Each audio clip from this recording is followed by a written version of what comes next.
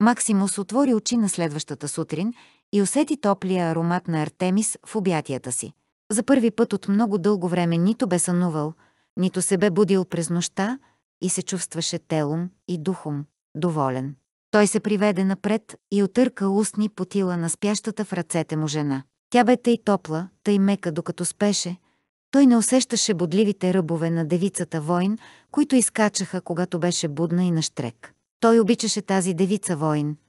Жената, която го гледаше в очите и му казваше, че са равни. Но тази сладка, ранима лейди караше сърцето му да се свива от болка. Така той можеше да си представи, че тя ще отстъпи пред него, меко ще пристъпи в обятията му и ще се съгласи с всичко, което той кажеше. Самата мисъл го накара да изповти от напушилия го смях, докато продължаваше да е заровил лице в косите й. Тя се размърда и леко простена. Колко е часът? Той погледна към прозореца, през който строеше рязката, нова светлина на идващия ден и пресметна. Едва ли минава седем. Тя възкликна и се опита да се отдръпне от него. Той я прегърна по-силно. Максимус. Каза тя с пресипнал от съня глас. Веднага трябва да си тръгна от тук. Слугите ще станат. Той се наведе и облиза врата й. Нека стават. Тя остана неподвижна, като лицето й бе извърнато и той не можеше да види изражението й. Ще ме видят, ще ни разкрият. Той се отдръпна леко, за да се опита да види лицето й, но косата й бе паднала напред и я караше да изглежда като речна нимфа в траур. Има ли значение? Тя се извърна и легна по гръб, поглеждайки нагоре към него. Тъмно кафявите й кадрици обгръщаха сериозното й лице, а едно дръско зърно надничаше изпод чершафа.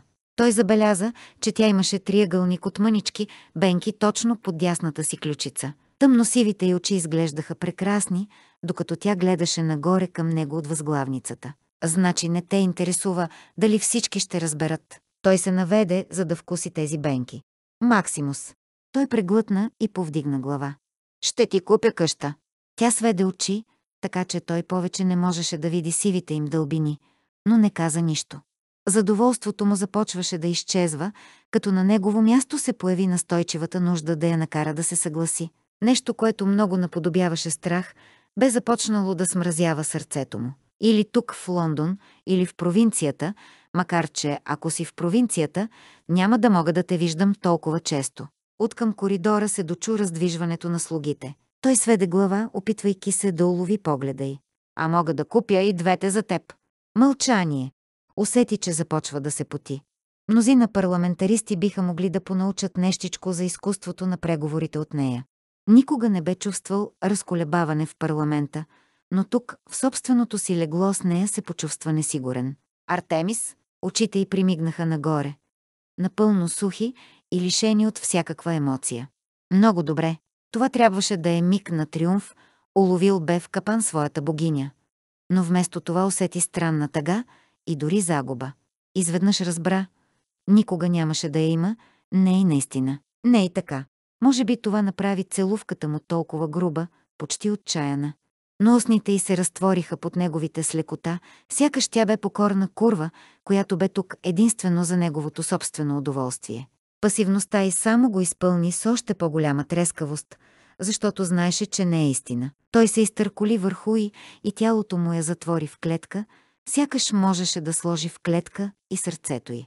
Тази жена, неговата жена, щеше да й се реваншира, щеше да й даде всичко, което пожелаеше, стига никога да не го напуснеше. Зад тях вратата към спалнята се отвори. Вън! Изръмжа той, на който и да беше онзи слуга. Посмял да го притесни. Някой изписка и бързо затвори вратата. Под него Артемис повдигна едната си вежда. Това не бе много мило. Той се навъси. Да не искаш да ни гледа как се съвкупляваме. Не бъди груб. Тя бутна гърдите му и той отстъпи с нежелание. Само защото знаеше, че се държи като стиснат негодник. Тя стана от леглото, великолепна в голотата си. Освен това, така или иначе скоро ще разберат, нали, че съм ти любовница. Той сумтя и удари по леглото с ръка, докато се протягаше. Тя повдигна едната си елегантна вежда. Това искаш, нали? Не мога да имам онова, което искам. Не можеш ли? Тонът ти бе лек, почти безгрижен. Но ти си херцогът на Уейкфилд, един от най-могъщите мъже в Англия. Член си на парламента, притежаваш много имения, имаш толкова много пари, че можеш да се къпеш в тях. А ако това не бе достатъчно, нощем ходиш в Сейнт Джайлс и рискуваш живота си. Тя се наведе да вдигне ризата си, захвърля предната вечер и когато се изправи, го прикова с предизвикателен поглед. Не е ли така? Знаеш, че е така. И сумтя той. В такъв случай, ваша светлост, следва, че можеш да имаш всичко и всеки го, когато си поискаш, както очевидно и мен. Моля те, не ме обиждай, като ми казваш, че не съм права. Той затвори очи. Не биваше да се получава така. Не трябваше ли да почувства поне малко радост от това, че бе негова? Какво искаш? Отвърна му тишина, нарушавана само от леко шумолене. Когато той отвори очи, тя закопчаваше халата му върху ризата си. Мисля, че нищо, каза тя с поглед, втренчен в ръцете си. А след това, може би свободата си. Свобода. Втренчи се. Какво значеше свобода за едно диво създание като нея? Нима искаше напълно да се откъсне от него. Няма да те пусна да си отидеш, рязко каза той. Тя погледна нагоре към него и очите й бяха присмехулни. Нима съм поискала това от теб. Артемис? В момента, каза тя с внезапна рязкост, единственото, което искам, е освобождаването на брат ми. Оковал си го. Естествено, че ще го окова. Той се възстановява бързо и е доста мускулест. Сети се нещо и се намръщи. Не бива да ходиш при него сега, след като вече може да се движи наоколо. Може да те сграбчи. Тя го изгледа невярващо. Той направи физиономия. Мога да намеря подходящо място за него, може би стая с врата с решетка. Имаш предвид клетка. Вече сме го обсъждали. Няма да пусна един луд близо до теб. Тя въздъхна и се приближи, за да седне на леглото до него. Преди 4 години той се е събудил в една кръчма с телата на трима от приятелите си около себе си. Не ги е убил. Най-многото, в което може да бъде обвинен, е, че е прекалил с пиенето. Максимус повдигна едната си вежда. Защо тогава Килбурн е бил изпратен в Бедлам? Тя се пресегна и погали повдигнатата му вежда. Защото никой не му повярва, когато каза, че не си спомня какво се е случило, нито как са убити приятелите му. Защото Чичо ми сметна, че е по-добре набързо да го напъха в бедлам, вместо да рискува с процес. И въпреки това очакваш от мен да повярвам, че е невинен. Да, устните й се извиха. Или по-скоро очаквам да повярваш на мен, когато казвам, че познавам брат си и че той никога не бил бил човек в пияно състояние, още по-малко приятелите си. Погледна я, така пламенна, така смела в защитата на брат си и почувства ревност, че тя можеше да изпитва подобна силна емоция и към друг, освен към него. Ще си помисля, тя се намръщи. Не можеш да го държиш заключен. Мога и ще го правя, докато не се убедя сам, че няма да нарани никой друг. Обещавам да го обмисля. Не искай повече от мен сега. Той видя, че думите му я нараниха и се опита да я хвана за ръката, но тя стана и пръстите й се изплъзнаха от неговите.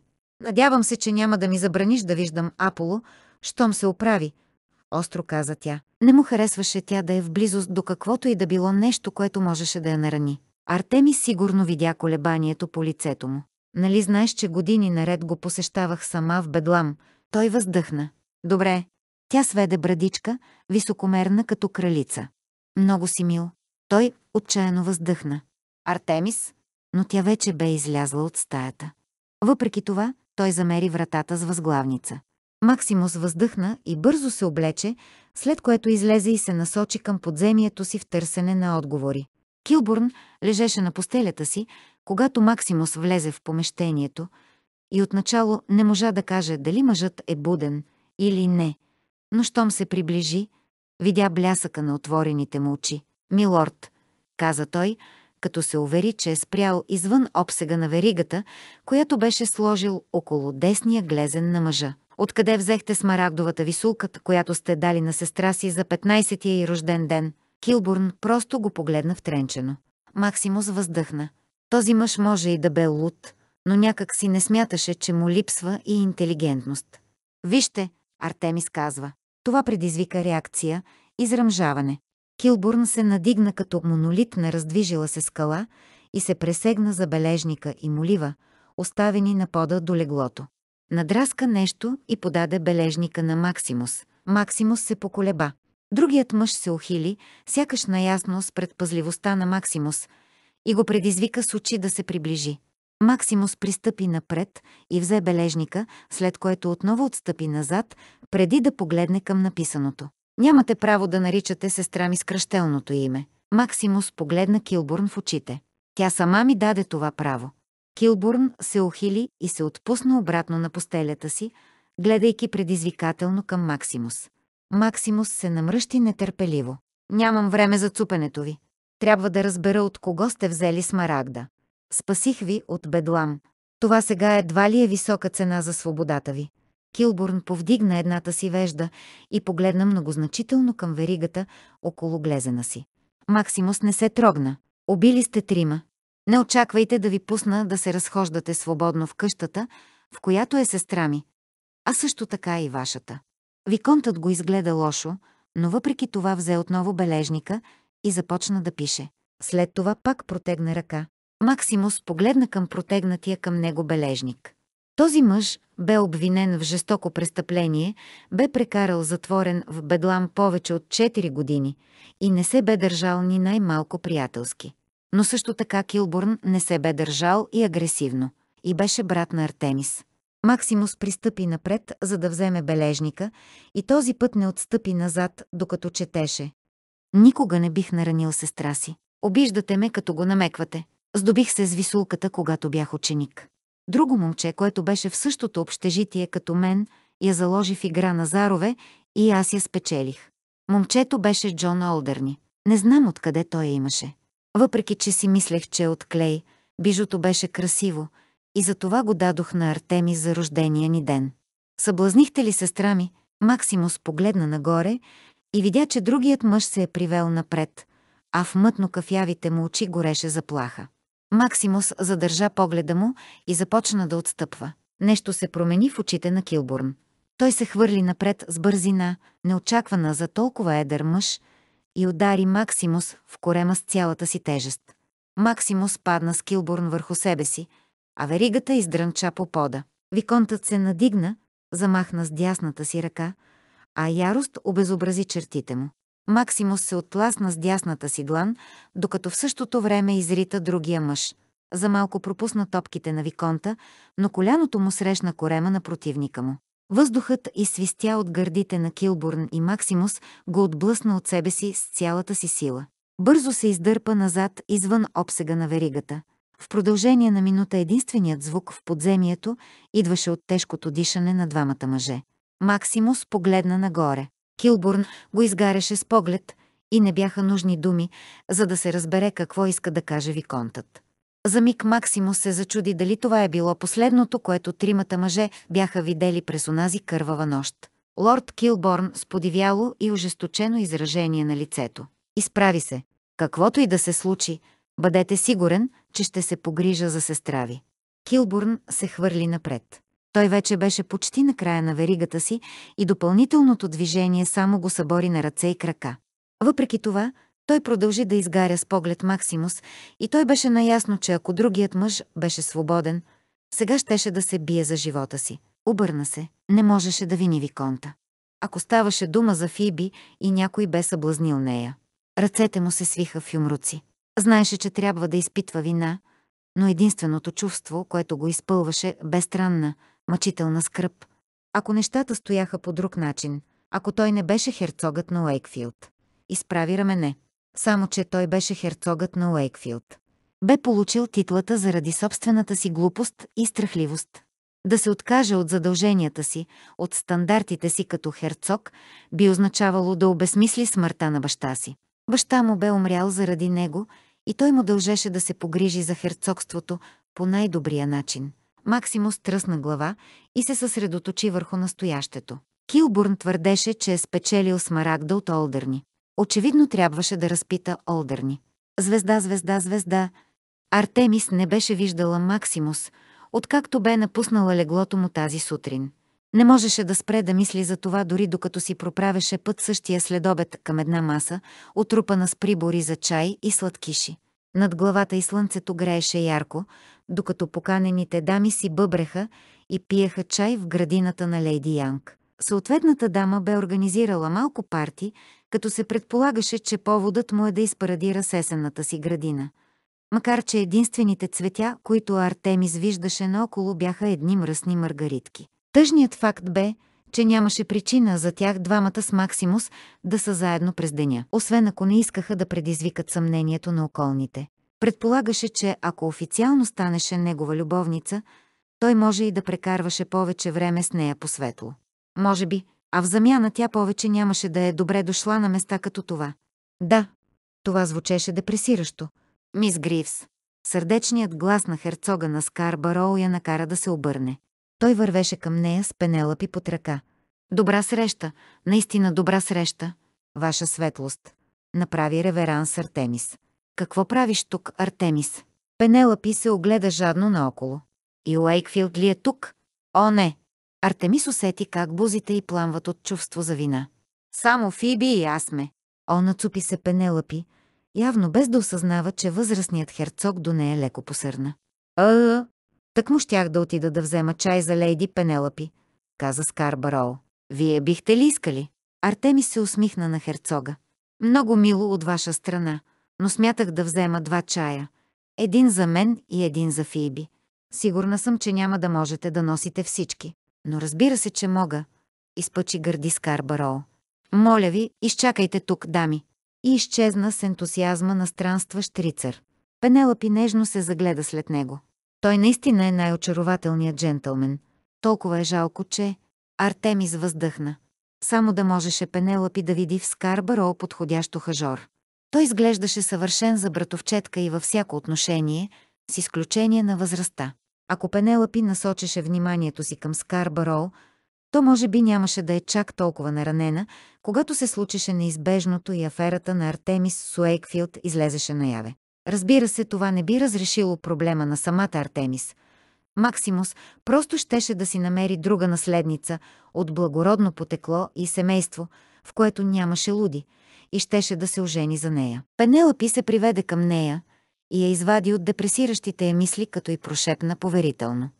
Не мога да разбера какви ги върши херцогът на Уейкфилд, като че ли никой не го е виждал, откакто се е върнал в Лондон. Знам, че си има неговите глупави парламентарни задължения, но той трябва да се появява и в обществото. Пенелъпи прехапа устната си и лицето й придоби ранимо изражение. Мислиш ли, че е изгубил интереса си към мен? Може би трябва отново да направя нещо дръско.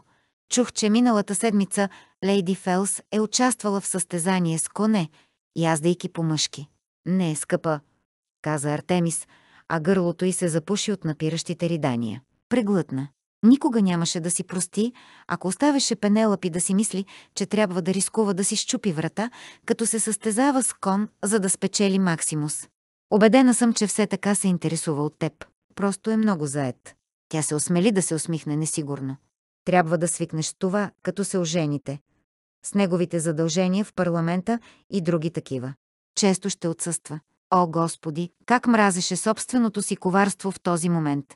Лицето на Пенелапи бе просветнало по време на болезнената й реч и сега вече сияеше. Е, това няма да е кой знае какъв проблем. Просто ще използвам парите му, за да пазарувам. Тя постави почти срамежливо длан върху ръката на Артемис. Благодаря ти, че ме успокои. Не знам какво бих правила без твоите съвети. Краката на Артемис почти се подкосиха от тези простички думи. Как бе могла да причини нещо толкова ужасно на Пенелъпи? На ярката слънчева светлина стореното от нея изглеждаше като непростим грях, че бе поставила собствените си желания пред момичето, което й бе предложило убежище, когато Артемис бе била тъй отчаяна. Без значение колко глупаво действаше понякога Пенелъпи, Артемис знаеше, че дълбоко в себе си братовчетка и наистина имаше сърце. И то щеше да бъде разбито, когато разбереше за измяната на Артемис. Артемис погледна надолу към ръцете си и си пое дъх в опит да се успокои. Опасяваше се, че ако останеше с Максимус, това ужасно петно, този отвратително грешен акт, ден след ден, година след година щеше да я разяжда, докато не се превърнеше в призрак на предишното си аз.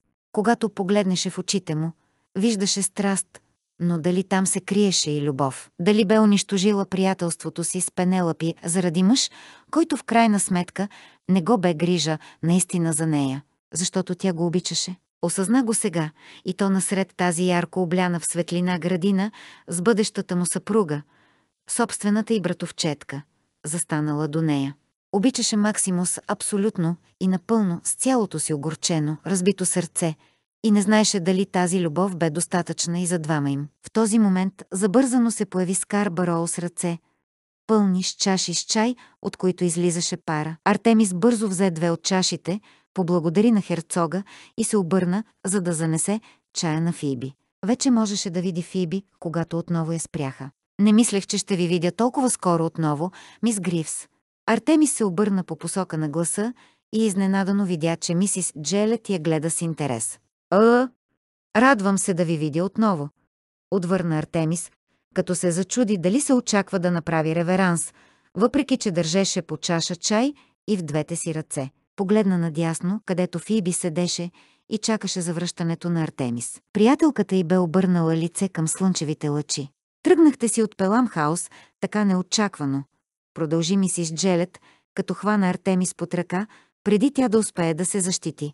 Артемис се загледа в чашата, пълна с чай с мляко, която бе на милиметри от фината светла дантела около ръкава на мисис Джелет и се надяваше, че дамата няма да я държи нея отговорна, ако дрехата скоро бъдеше залята с чай. Всъщност, точно след като и Уейкфилд бе заминал за Лондон. Толкова жалко. Скъпата ми приятелка Лейди Ноукс бе доста недоволна, че гостуването ни приключи толкова бързо. Тя има толкова малко възможности да се гощава, откакто Нукс изгуби по-голямата част от зестрата й. Той беше доста безпаричен, преди да се ожени за Шарлот. Цялото му състояние дойде от нея, а сега вече го няма. Мисис Джелет се приведе към Артемис и довери. Комар, такава ужасна злочестина. Артемис погледна предпазливо по-възрастната дама. Точно носех този чай на лейди Фиби, ако искате. О, и Фиби ли е тук? Възкликна мисис Джелет. Погледна в посоката, на където се бе запътила Артемис и се усмихна. На Артемис не й допадна тази усмивка. Е, не бива да я караме да чака, заяви мисис Джелет и в следващия миг Артемис се озова пред Фиби, като другата жена все още я държеше за ръката. Нямах представа, че ще бъдеш тук, скъпа, каза на твърде висок глас мисис Джелет, сякаш слабото зрение на Фиби бе засегнало и способността й да чува. Денят е прекрасен за градинско парти, нали? каза Фиби. Чая ти, каза Артемис и внимателно постави чашата в ръцете на момичето. Тък му обсъждах гостуването в имението на брат ти с мисис Джелет. Очите на Фиби се проясниха при споменаването на името на мисис Джелет и Артемис заподозря, че до този момент приятелката й не бе имала представа кой точно я е поздравил. «Ще седнете ли при нас, госпожо?» «О, благодаря ти, скъпа моя!» По-възрастната дама моментално седна до Фиби и така принуди Артемис да седне от другата страна на мисис Джелет. Тък му казвах на Артемис, че на всички ни липсваше, когато си тръгна от гостуването толкова набързо. Но тя си тръгна с мен. Сладко каза Фиби. Така че предполагам, че ако Артемис си е тръгнала набързо, то и аз съм сторила същото. Мисис Джелет изглеждаше леко смутена от това просто изявление, но след това си възвърна самообладанието и се приведе напред. Само че е скъпа Фиби. Ти не си влизала в гората с джентълмен Ерген, преди да си тръгнеш. Тя се изхихика с противна веселост. Толкова се чудихме, мис Гривс. Какво ли може да сте правили с негова светлост в гората? Както казах и преди, негова светлост просто разглеждаше една птица, която видях. Артеми се постара да прозвучи спокойно. Нима? Ах, иска ми се да бях толкова дръзка, колкото вас, мис Гривс. Не е чудно, че той моментално ви настани в градската си къща. Всъщност Артемис е в ролята на моя компаньонка. Тихо каза Фиби. Мисис Джелет я потупа по ръката. Да, скъпа. Сигурна съм, че е така. Артемис си поедъх, но Фиби я изпревари. Мисля, че ще пообиколим градината. Бихте ли ни извинили, госпожо? Тя стана и Артемис побърза да й подаде ръка и да я поведе по една от по-безлюдните пътеки. Вървяха мълчаливо известно време, докато Артемис не проговори. Съжалявам за това. Не смей да се извиняваш. Гневно каза Фиби. Противна стара вещица. Не знам как се понася сама себе си. Просто съжалявам, че помагайки ми на мен, стана обект на подобни клюки. Артемис погледна настрани, а гърлото й се сви от чувство за вина. Скоро. Много скоро, ако се съдеше по отношението на мисис Джелет, тайната и с Максимус щеше да излезе наяве. От самото начало знаеше, че няма начин да я запази задълго, но не бе предполагала, че ще бъде разкрита така внезапно. Предстоеше и да навлезе в едни други среди на обществото. Онези, запазени за дамите, които бяха пропаднали. 17 глава. Джон Олдърни беше слаб, мъж с големи сини очи и нервно примигване, което сякаш се бе задълбочило от присъствието на херцога на Уейкфилд в салона на лондонската му къща. Наредих да донесат чай, каза Олдърни и тръгна да сяда на един стол, след което подскочи и отново стана прав. Или да поръчам друго, а не чай, мисля. Мисля, че тук някъде имам бренди. Той се залута и с малкия си салон, сякаш в очакване брендито да изкочи от някъде от само себе си. Френско е, разбира се, но предполагам, че повечето брендита са такива. Той бързо примигна срещу Максимус. Максимус потисна въздишката си и седна. Десет часа е. О, а, Пристигането на чая спаси и двамата. Една обзета от благоговение прислужничка зяпаше Максимус през цялото време, докато наливаше, и той не можа да се въздържи да не си помисли, че е цяло чудо как момичето не разля чая по килима. Тя тръгна да излиза от стаята и когато отвори вратата, Максимус видя, че цяло ято слуги плюс розовобузестата дребничка съпруга на Олдърни са се струпали в коридора и ги гледат ококорено. В следващия миг прислужничката, макар и с нежелание, излезе и затвори вратата след себе си, оставяйки двамата мъже насаме. Олдър ни беше сграбчил изпускащата пара чаша с две ръце и изглежда, че тази поза му възвърна достатъчно от самообладанието му, че да може поне да седи и да оформи някаква що годе разбираема мисъл. Каква чест, разбира се. Не ни се случват толкова често херцози да ни посещават преди обяд. И не мога да изразя колко. Колко сме благодарни. Но аз... Чудех се, но изглежда, коражът на Олдър ни стигаше само до тук. Той млъкна, за да гъврътне половината от чая си и след това трепна, когато очевидно се опари. Максимус извади висулката с марагда от джоба на елека си и го постави на масичката помежду им.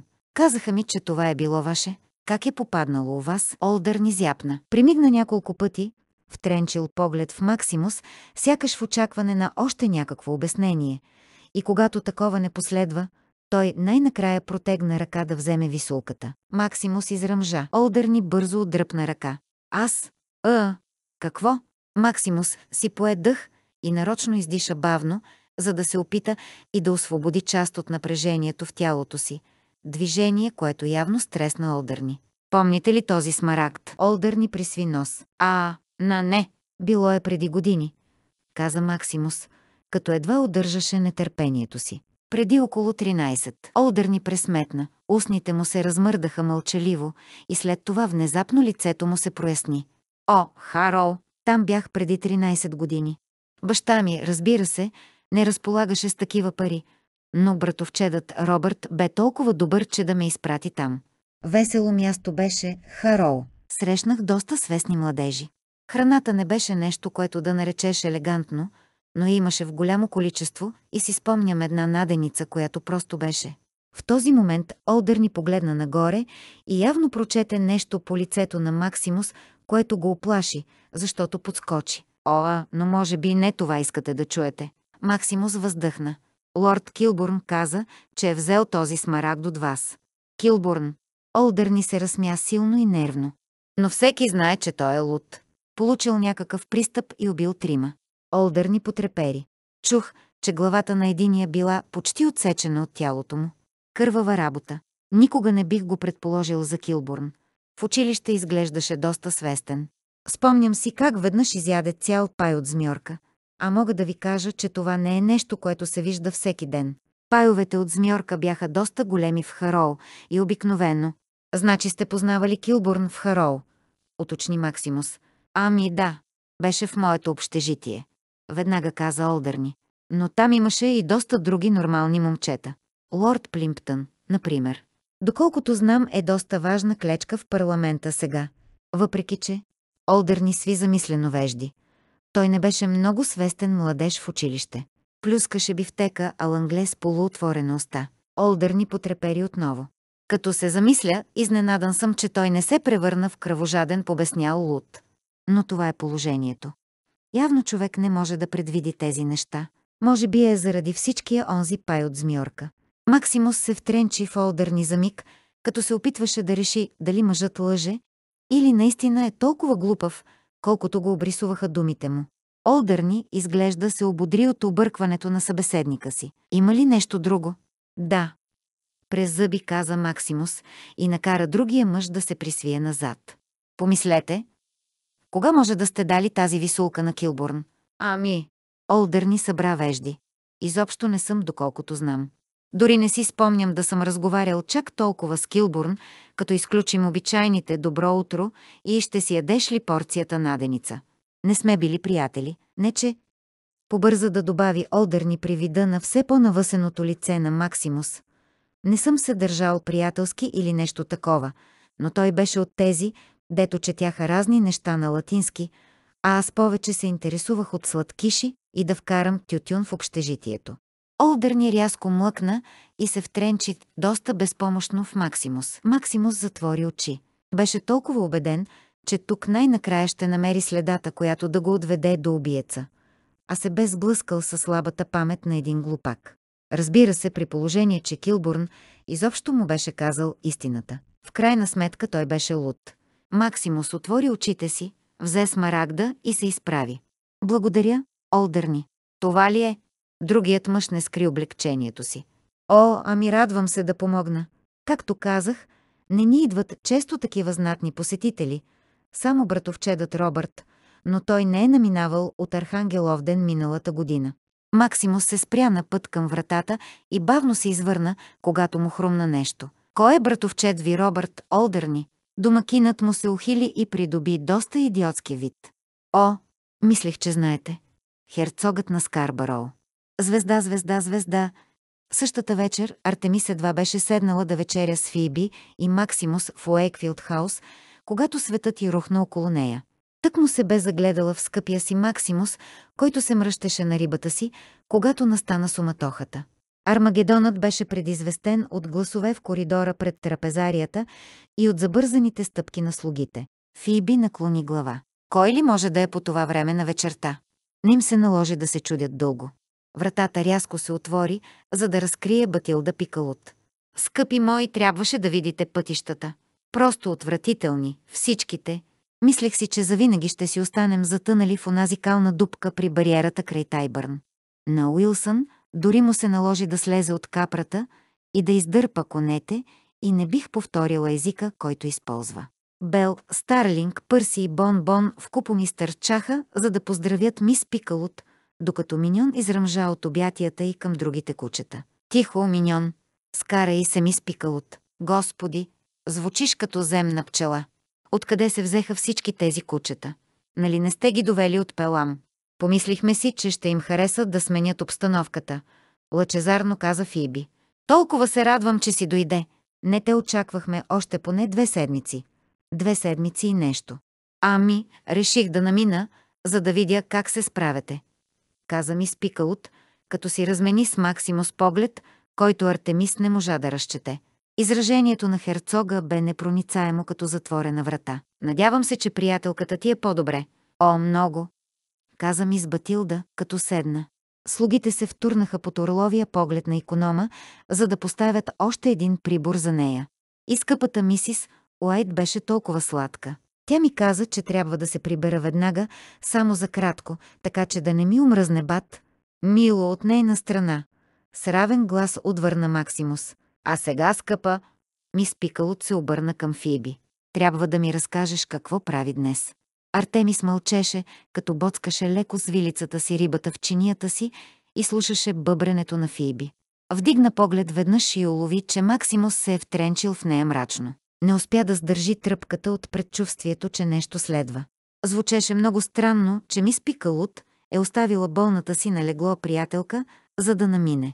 Едва след прекрасния ябълков сладкиш, който Артемис само разчопли, тя разбра истинските намерения на мис Пикалут. Двете с Фиби станаха, за да се оттеглят в салона за чай, но по-възрастната дама се обади и ги спря.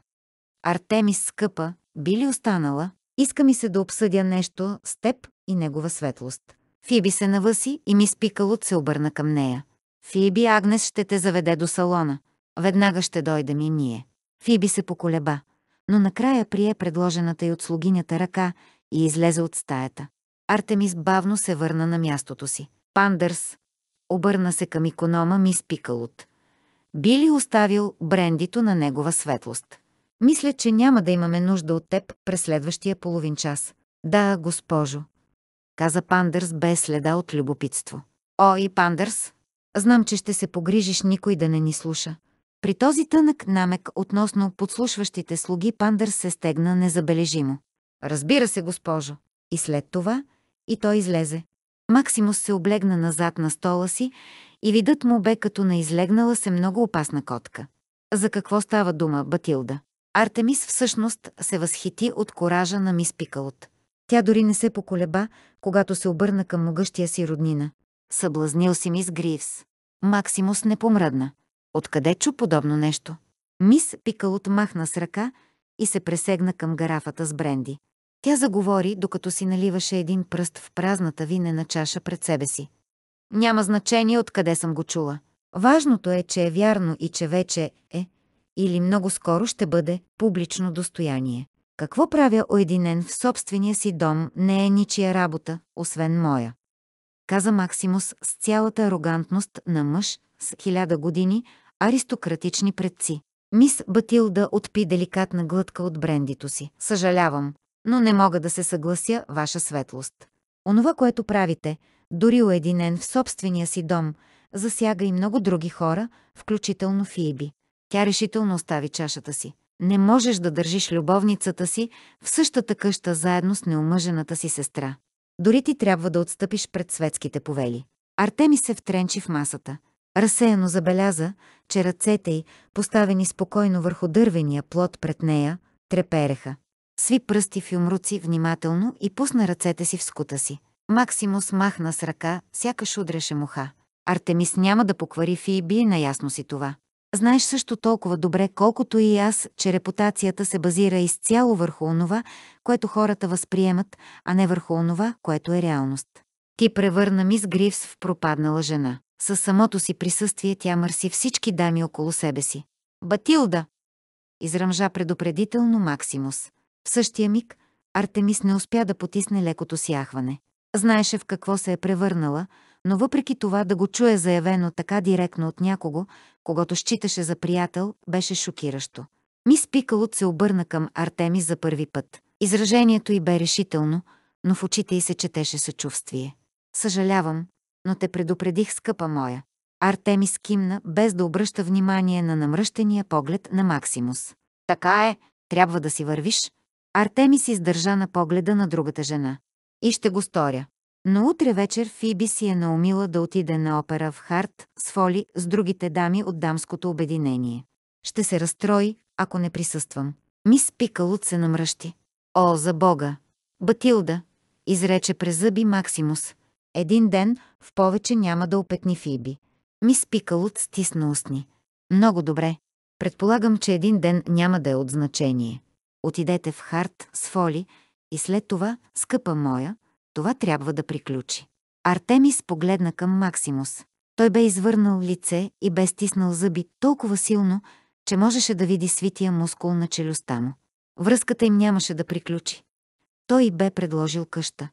Но доколкото Артемис можеше да прецени, за мис Пикалот това нямаше значение, стига да бъдеше прикрита.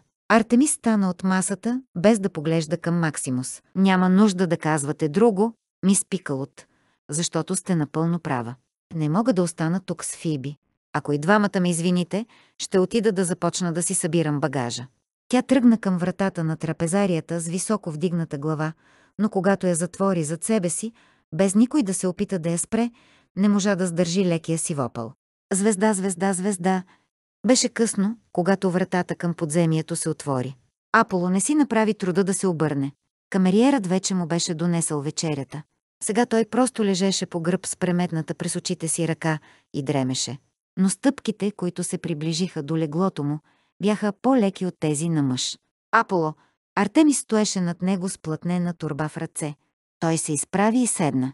Трябва да побързаме, каза тя, като пусна турбата на земята до леглото му. Нещо в нея издрънча. Тя се наведе и извади дървен чук и длето. Няма да повярваш колко дълго ми отне, за да намеря тези.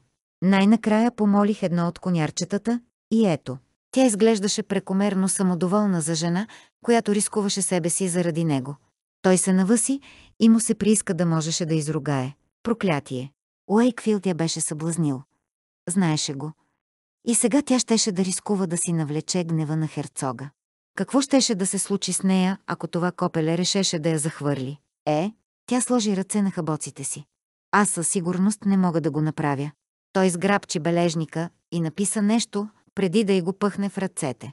Тя взе бележника, а той вдигна длетото и го постави върху първата халка от веригата, която лежеше на пода от оковата около глезена му. Няма ли херцогът да те накаже? Прочете на глас Артемис. Той удари длетото с дрънчащ звън. Артемис отпусна бележника и го изгледа раздразнено. Не, разбира се, че не. Чел си твърде много от онези сензационни памфлети, дето ти носех в Бедлам. Дори не съм сигурна, че историите, за които пишат, са истински. Максимус може и доста да ми се ядоса, но едва ли ще ме накаже. Наистина. Що за мисъл? Той отново удари длетото, преди да я изгледа многозначително и да оформи с устни острото Максимус. Вече ти казах, че е приятел. Той извъртя очи. Артемис го лъжеше заради копелето. Искаше му се подчука да е главата на херцога. Удари под летото за трети път с цялата си сила. Хълката се щупи. О, браво! възкликна Артемис и се наведе да му помогне да освободи щупената хълка от двете, които все още бяха свързани към оковата около глезена му. Ще трябва да увиеш това с парче плат или нещо друго, за да не дрънчи. Донесох ти дрехи. Посочи тя към турбата. Той взе бележника от нея и написа. Защо сега? Тя прочете въпроса му и лицето й внимателно се затвори, преди почти веднага да му се усмихне и отново да го погледне. Скоро ще напусна Уейкфилд Хаус и исках да съм сигурна, че си свободен преди да си тръгна. Защо си тръгваше? Какво друго се случваше? Сякаш безмълвно питаше той. Тя се престори, че не вижда. Побързай и се облечи. Той се подчини, разтревожен от припряността й и липсата на отговор на въпросите му. Камериерът му беше дал бричове и риза. Сега той се преоблече в чистите дрехи, които включваха и елек, сако и обувки. Всичко му беше една идея по-малко, включително обувките. Артемис го погледна извинително. Взех ги от един от слугите. Той имаше най-големите стъпала в цялата къща. Аполо поклати глава, усмихна и се и се наведе да целуне сестра си. Той нямаше нищо, освен онова, което тя му бе дала. Той грабна бележника и написа «Как ще се свържа с теб?» Тя остана за миг загледана в бележника и той видя по изражението й, че не беше помислила за това. Той взе обратно бележника. Артемис, трябва да останем във връзка. Ти си всичко, което имам сега, а нямам доверие на твоя херцог. Изобщо. Е, това е просто глупаво, тази част относно Максимус. Каза тя, когато прочете какво е написал. Но си прав. Не бива да губим връзка един с друг. Знаеш ли къде можеш да идеш от тук? Беше мислил за това, докато лежеше с дни в леглото и имаше до някъде отговор. Той написа внимателно. Имам приятел на име Ейса Мейкпис. Можеш да му пишеш на него в Ксапнцфоли. Той даде бележника и видя как очите й се разтвориха от очудване. Харт с фоли? Не разбирам. Там ли ще отидеш? Той поклати глава и нежно взе бележника от ръцете й. По-добре да не знаеш. Тя четеше през рамото му. Но, грижи се за себе си. Стори му се, че усмивката й помръкна, докато четеше написаното, но в следващия миг тя го прегръщаше силно. Ти си този, който трябва да се грижи за себе си. Бягството ти още е в устата на всички. Ще те издирват. Тя се отдръпна, за да го погледне. И за свой ужас той видя сълзи в очите й. Не бих понесла да те изгубя отново. Той се наведе и я целуна по челото. Дори да можеше да говори, нямаше какво да й каже, за да я отеши. Той се извърна, за да върви. Чакай. Тя го хвана за ръката и го спря. Вземи, каза тя и натика в ръцете му една по-малка турбичка. Тук има три паунда и шест пенса. Това е всичко, което имам. И малко хляб и сирене. О, Аполо! Храбрата й реч завърши с ридание. Върви, Той понечи отново да се наведе към нея, но тя го побутна да тръгва. И така, без да я поглежда, Аполо се обърна и се вмъкна в тесния тунел, по който беше видял да излиза Уейкфилд по-рано същата нощ. Нямаше представа къде щеше да го отведе. Звезда, звезда, звезда. Максимус не знаеше от колко време вече претърсваше Сейнт Джайлс тази нощ, когато чу пистолетния изстрел. Спусна се за тъгъла и се затича надолу по уличката, насочвайки се към мястото, откъдето долиташе шумът. Луната над него, тази негова красива любовница, тази негова недостижима любима, го водеше. Отпред долитаха дрезгави мъжки викове и се чуваше тропотът на копита по каменната настилка. Изкочи на следващата пресечка и видя, че Тревилиан лети към него върху коня си. Тръгна към Севен Дайлс звезда. Звезда от английски Севен, Дайлс в превод, означава седемте циферблата, като в случая става дума за наименованието на колона с седем слънчеви часовника, намираща се на кръстовище в Лондон, където се срещат седем пътища. Бележка на преводача. Максимус пресече улицата точно пред коня, толкова близко, че му се стори, че усети дъха на животното по бузата си, когато претичваше пред него. Пеша той можеше да се вмъкне в някоя от многото тесни улички, през които човек на кон не можеше да мине, и така да пресече пътя на Олд Скрач, защото знаеше дълбоко в душата си, че тази нощ Тревилиан преследваше Олд Скрач. Олд Скрач, мъжа, който носеше смарагда на майка му на врата си. Олд Скрач, който бе убил родителите му преди 19 години в една дъждовна нощ в Сент Джайлс. Затича се наляво, шмугна се надясно – Краката го боляха. Дъхът му свистеше в дробовете му. Колоната с седемте слънчеви часовника изникна отпреде му насред кръглото кръстовище на седем улици. Олд Скрач стоеше спокойно, яхнал коня си пред колоната, сякаш го чакаше. Максимус забави бяга си и се прокрадна в сенките. Бандитът не бе извадил пистолетите си, но сигурно бе въоръжен. Ваша светлост, провикна се Олд Скрач. Ц-ц-ц, Мислех си, че отдавна сте отвикнали да се криете. Усети как студът навлезе в гърдите му. Усети страха, че е твърде дребен, твърде слаб. Бесилието, докато бе гледал как този мъж застрелва майка му. По гърдите имаше кръв, тя бликаше ярко червена върху белия мрамор на кожата и стичаше се под дъжда в разпилените й коси. Искаше да повърне. Кой си ти? Олд скрач наклони глава. Не знаеш ли? Родителите ти знаеха затова трябваше да ги убия. Опасявам се, че майка ти ме разпозна, въпреки кърпата върху лицето ми. Колко жалко. Тя беше красива жена. Значи си аристократ. Максимус отказваше да захапе стръвта. И въпреки това си пропаднал до там, че да крадеш в Сейнт Джалс. Обирам, ако искаш да знаеш. Олд Скрач звучеше раздразнен, сякаш смяташе, че обирджийството някак си стои над кражбата. И е приятно хоби. Раздвижва ти кръвта. Очакваш да ти повярвам, че го правиш от любов към силните усещания. Присмя се Максимус. Спести ми глупостите. Да не си бедният по-малък син. Или си пропилял наследството си на хазарт. Грешиш и пак грешиш.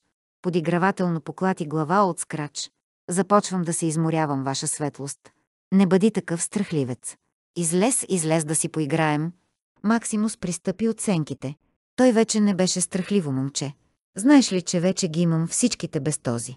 Олд Скрач изцъка недоволно, когато едрият му черен кон премести тежеста си от единия на другия си крак. Смарагдовите капки като тази, той докосна с облечените си с ръкавици пръсти смарагдовото бижу на врата си. Трябва да са ти стрували цяло състояние, защото знам, че аз ги продадох срещу такова. Огърлицата на майка ти ми осигуряваше вино и курви доста години. Максимус усети, че гневът му се надига – и го овладя. Нямаше да позволи да го предизвика толкова лесно. Само този ми трябва, за да бъде цяла отново. Олд Скрач му направи знак с пръст. Ела и си го вземи. Това и възнамерявам, каза Максимус, докато заобикаляше коня и ездача. Ще взема камъка и живота ти с него. Бандитът отметна глава назад и се изсмя. Аз ли съм причината за това? Посочи той към костюма на Максимус. Ах, сър, Признавам, че съм поласкан.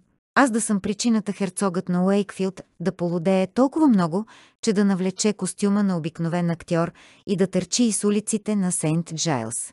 Ех, аз, Стана толкова бързо, че Максимус нямаше време да помисли, камо ли да реагира.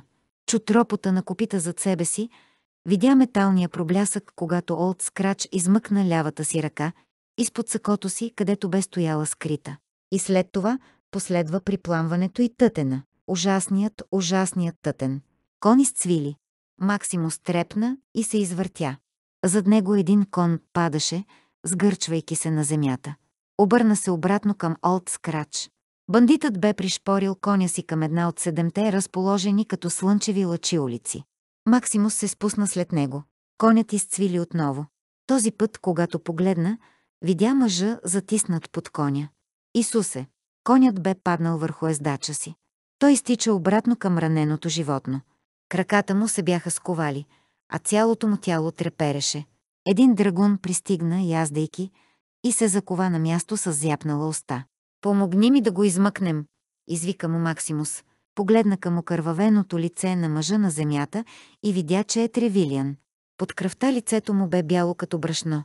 Драгунският капитан не издаваше нито звук, зъбите му бяха стиснати, а устните му се бяха отдръпнали назад в израз на агония. Хвани го за другата ръка. Нареди Максимус на младия войник. Мъжът сграбчи ръката на капитана и двамата го вдигнаха. Тревилиан изтена дълбоко и болезнено, когато краката му се освободиха изпод коня. Максимус видя, че от устната на драгунския капитан се стичаше кръв там, където я бе прехапал. Коленичи край Тревилиан и трепна, когато погледна към десния му крак. Същия крак, на който Тревилиан накуцваше заради по-старо нараняване. Беше извит под неестествен ъгъл. Очевидно коста беше щупена, и то щупена зле. Тревилиан се пресегна и с изненадваща сила сграбчи предницата на туниката на Максимус, като го придърпа достатъчно близо, така че другият войник да не може да чуе. Уейкфилд не й позволявай да страда. Максимус погледна към кобилата. Спомни си, че се казваше Кауслип. Глупаво име закон на войник. Погледна обратно към Тревилиан, чиято брадичка бе окървавена от опита му да заглуши собствената си болка. Направи го, изръмжа капитанът с премрежени очи. Проклятие, просто го направи. Максимус се изправи и пристъпи към кобилата. Тя вече не се мяташе, а просто лежеше и едрото и тяло се повдигаше тежко, като дишаше. Предният и десен крак бе изкривен странно. Или беше щупен, или беше много зле ранен. Грозна дупка заеше насред гладката шоколадова кожа върху гърдите на кобилата, а мократа й от кръв грива се стелише върху камъните. За миг пред очите му изникна образа на майчините му коси, окървавени и разпилени в мокрия уличен канал. Тръсна глава и се приближи. Кауслип извъртя око, изпълнено с страх и болка, когато се приближи към нея. Измъкна късия си меч. Максимус коленичи покри окото й и преряза гърлото й. 18 глава. Артеми се събуди в ранните утринни часове от шум от плискане на вода. Тя се претърколи в огромното легло на Максимус и го видя, застанал край туалетния си шкаф, осветен само от една свещ. Беше гол до кръста и плискаше вода по гърдите и ръцете си. Вода, която се стичаше по гърдите му на червени струйки. Рязко се изправи в леглото. Ранен си. Той спря за момент, след това продължи да се мие, като очевидно изобщо не го беше грижа за килима. Не съм, тя се намръщи. Нещо се бе случило? Той бе прекалено тих. Чия кръв е това тогава? Той погледна към ръцете си, от които се стичаше вода. На капитан Тревилиан и на кон на име Кауслип. Тя примигна и се зачуди дали е чула правилно. Но въпреки, че продължи да го гледа въпросително, той не каза нищо повече. Тя ови ръце около свитите си колене. Смътно си спомни, че преди години бе срещала драгунския капитан в Сейнт Джайлс. Беше и се сторил строг мъж. Тя потръпна. Капитан Тревилиан мъртъв ли е? Не, прошепна той. Не, но е много тежко ранен. Какво се случи? Намерих го. Кого? Той най-накрая вдигна поглед и макар чертите на лицето му да бяха опънати, очите му горяха. Олд Скрач, този, който уби родителите ми. Тя въздъхна. Значи го залови. Не. Той захвърли кърпата, която използваше, и се подпря с ръце на шкафа. Преследвахме Олд Скрач до колоната с седемте слънчеви часовника в Сейнт Джайлс. Там той простреля коня на Тревилиан, а конят падна върху капитана. Артемис се сепна. Подобни инциденти се случваха и лесно можеха да имат фатален изход за ездача. Но ти каза, че той е жив. Максимус най-накрая погледна. Кракът му е щупен тежко. Трябваше да убия коня и след това доведох Тревилиан тук. Артемис тръгна да става. Нуждае ли се от някой да се погрижи за него? Да, но вече се разпоредих. Вдигна ръка Максимус, за да я спре. Изпратих да повикат доктора ми веднага, щом пристигнах. Той намести крака колкото можа по-добре. Искаше да го ампутира, но не му разреших. Трепна Максимус. Кракът сега е превързан и докторът казва, че ако не загнои, Тревилиан може и да живее. Оставих един от слугите да седи при него. Няма какво друго да се стори тази нощ. Артемис продължаваше да го гледа втренчено. Тя бе наполовина станала от леглото, спряна от заповедта му. Но капитанът може и да умре. Максимус се извърна. Да, толкова съжалявам, прошепна тя. Той кимна, докато смъкваше бричовете си. Изгубих единствения си съюзник. А мисли и приятел. Изгледа го тя остро. Той спря неподвижно за миг, преди да започне да разкопчава белето си. И това също. Ще изпратиш ли още войници навън да заловят Олд Скрач? Той изрита белето си и се изправи чисто гол. Ще се заема сам с него. Но тя се намръщи и погледна в страни от разсейващото я голо тяло. Не би ли било по-добре някой да ти помага? Той отметна глава назад и се разсмя със смях, приличен на лай. По-добре, да, но нямам от кого да поискам помощ. Тя го изгледа. Защо да нямаш? Преди спомена за другите две момчета, сега мъже, с които си тренирал. Със сигурност един от тях. Той разсече въздуха с длан. Те престанаха да обличат костюма на призрака. Тогава някой друг. Ти си херцогът на Уейкфилд. Той нетърпеливо поклати глава. Това е опасно преследване. Да, така е, прекъсна го тя. Виждам синините по ребрата ти и имаш порязано на рамото си. Още една причина да се заема с това сам, каза той. Не искам никой друг да пострада, служейки ми. Максимус, каза меко тя, като се опитваше да разбере, опитваше се да открие какво би променило мнението му. Защо изобщо трябва да го правиш? Ако той е бандит, войниците ще го заловят и ще го обесят рано или... Той се извъртя, внезапно и агресивно, и изрита един от столовете пред камината. Столът полетя през стаята и се разби в стената. Максимус стоеше с повдигащи се гърди и гледаше втренчено с чупения стол, макар Артемис силно да се съмняваше, че го виждаше. Максимус, аз ги убих.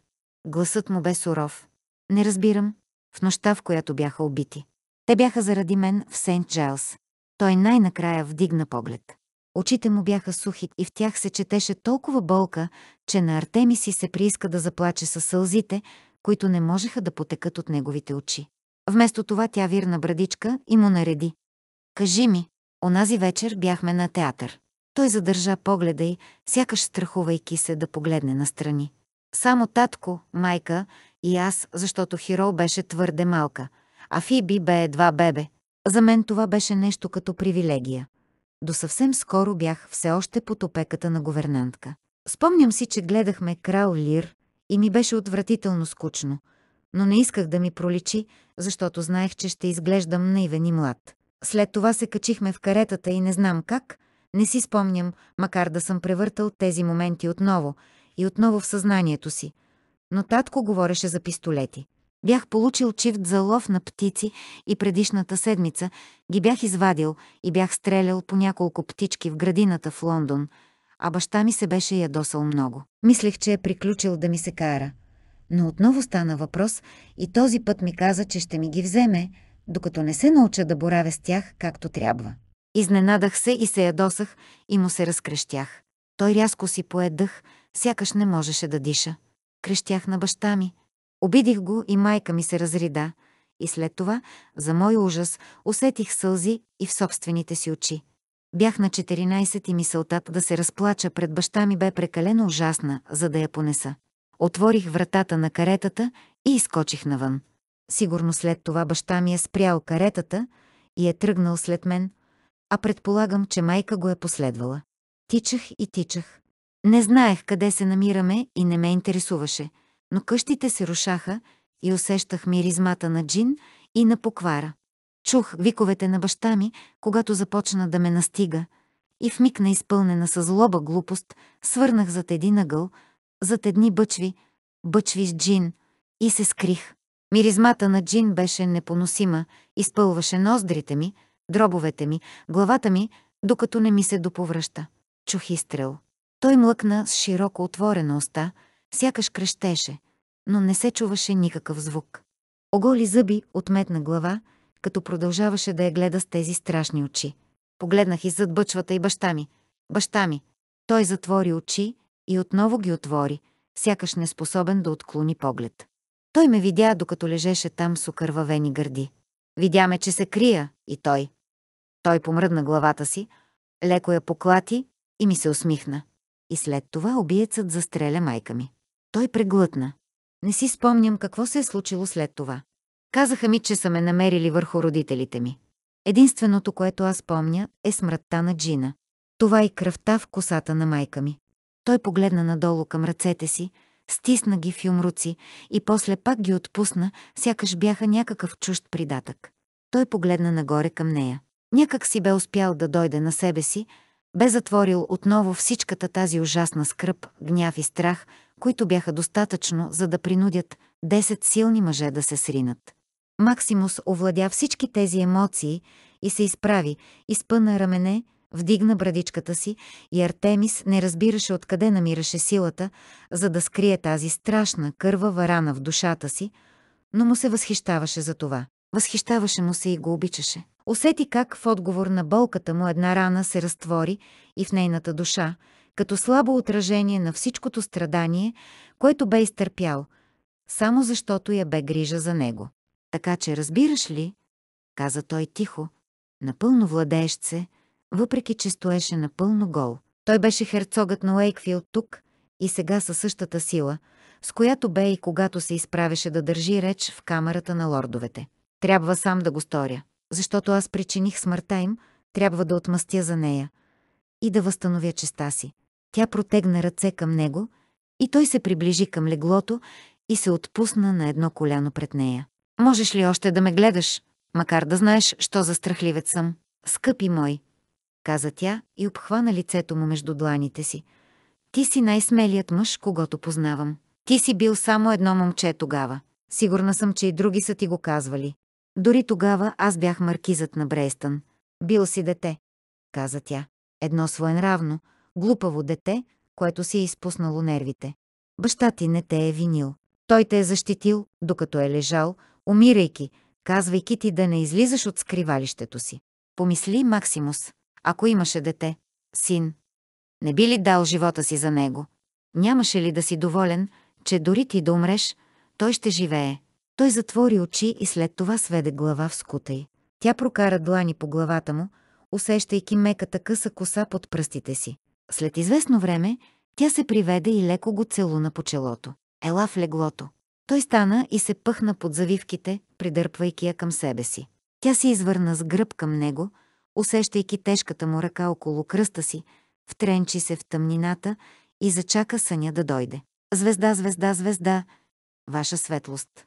За миг, докато дойде на себе си, Максимус си помисли, че му се е сторило, че чува гласа на Крейвън. Примигна. Крейвън стоеше край леглото му. Крейвън, глупаво каза той. Върнал си се. Крейвън начумерено повдигна едната си вежда. Никога не съм си тръгвал, ваша светлост. Максимус трепна. Ако съдеше по количеството ваша светлост, което излизаше от устата на Крейвън, камериерът му още не бе заровил томахавката. Не те видях в къщата. Ваша светлост, не знаете всичко, което се случва в тази къща. Изтъкна язвително Крейвън. Един джентълмен ви чака долу. Казва, че името му е Олдърни. Олдърни. По това време Крейвън повдигна и двете си вежди едновременно. Точно преди пладне е ваша светлост. О, Максимус седна в леглото, като внимаваше да не разбуди Артемис. Музъкът му още не се бе разбудил, но за каквото и да бе дошъл, Олдърни трябва да беше важно.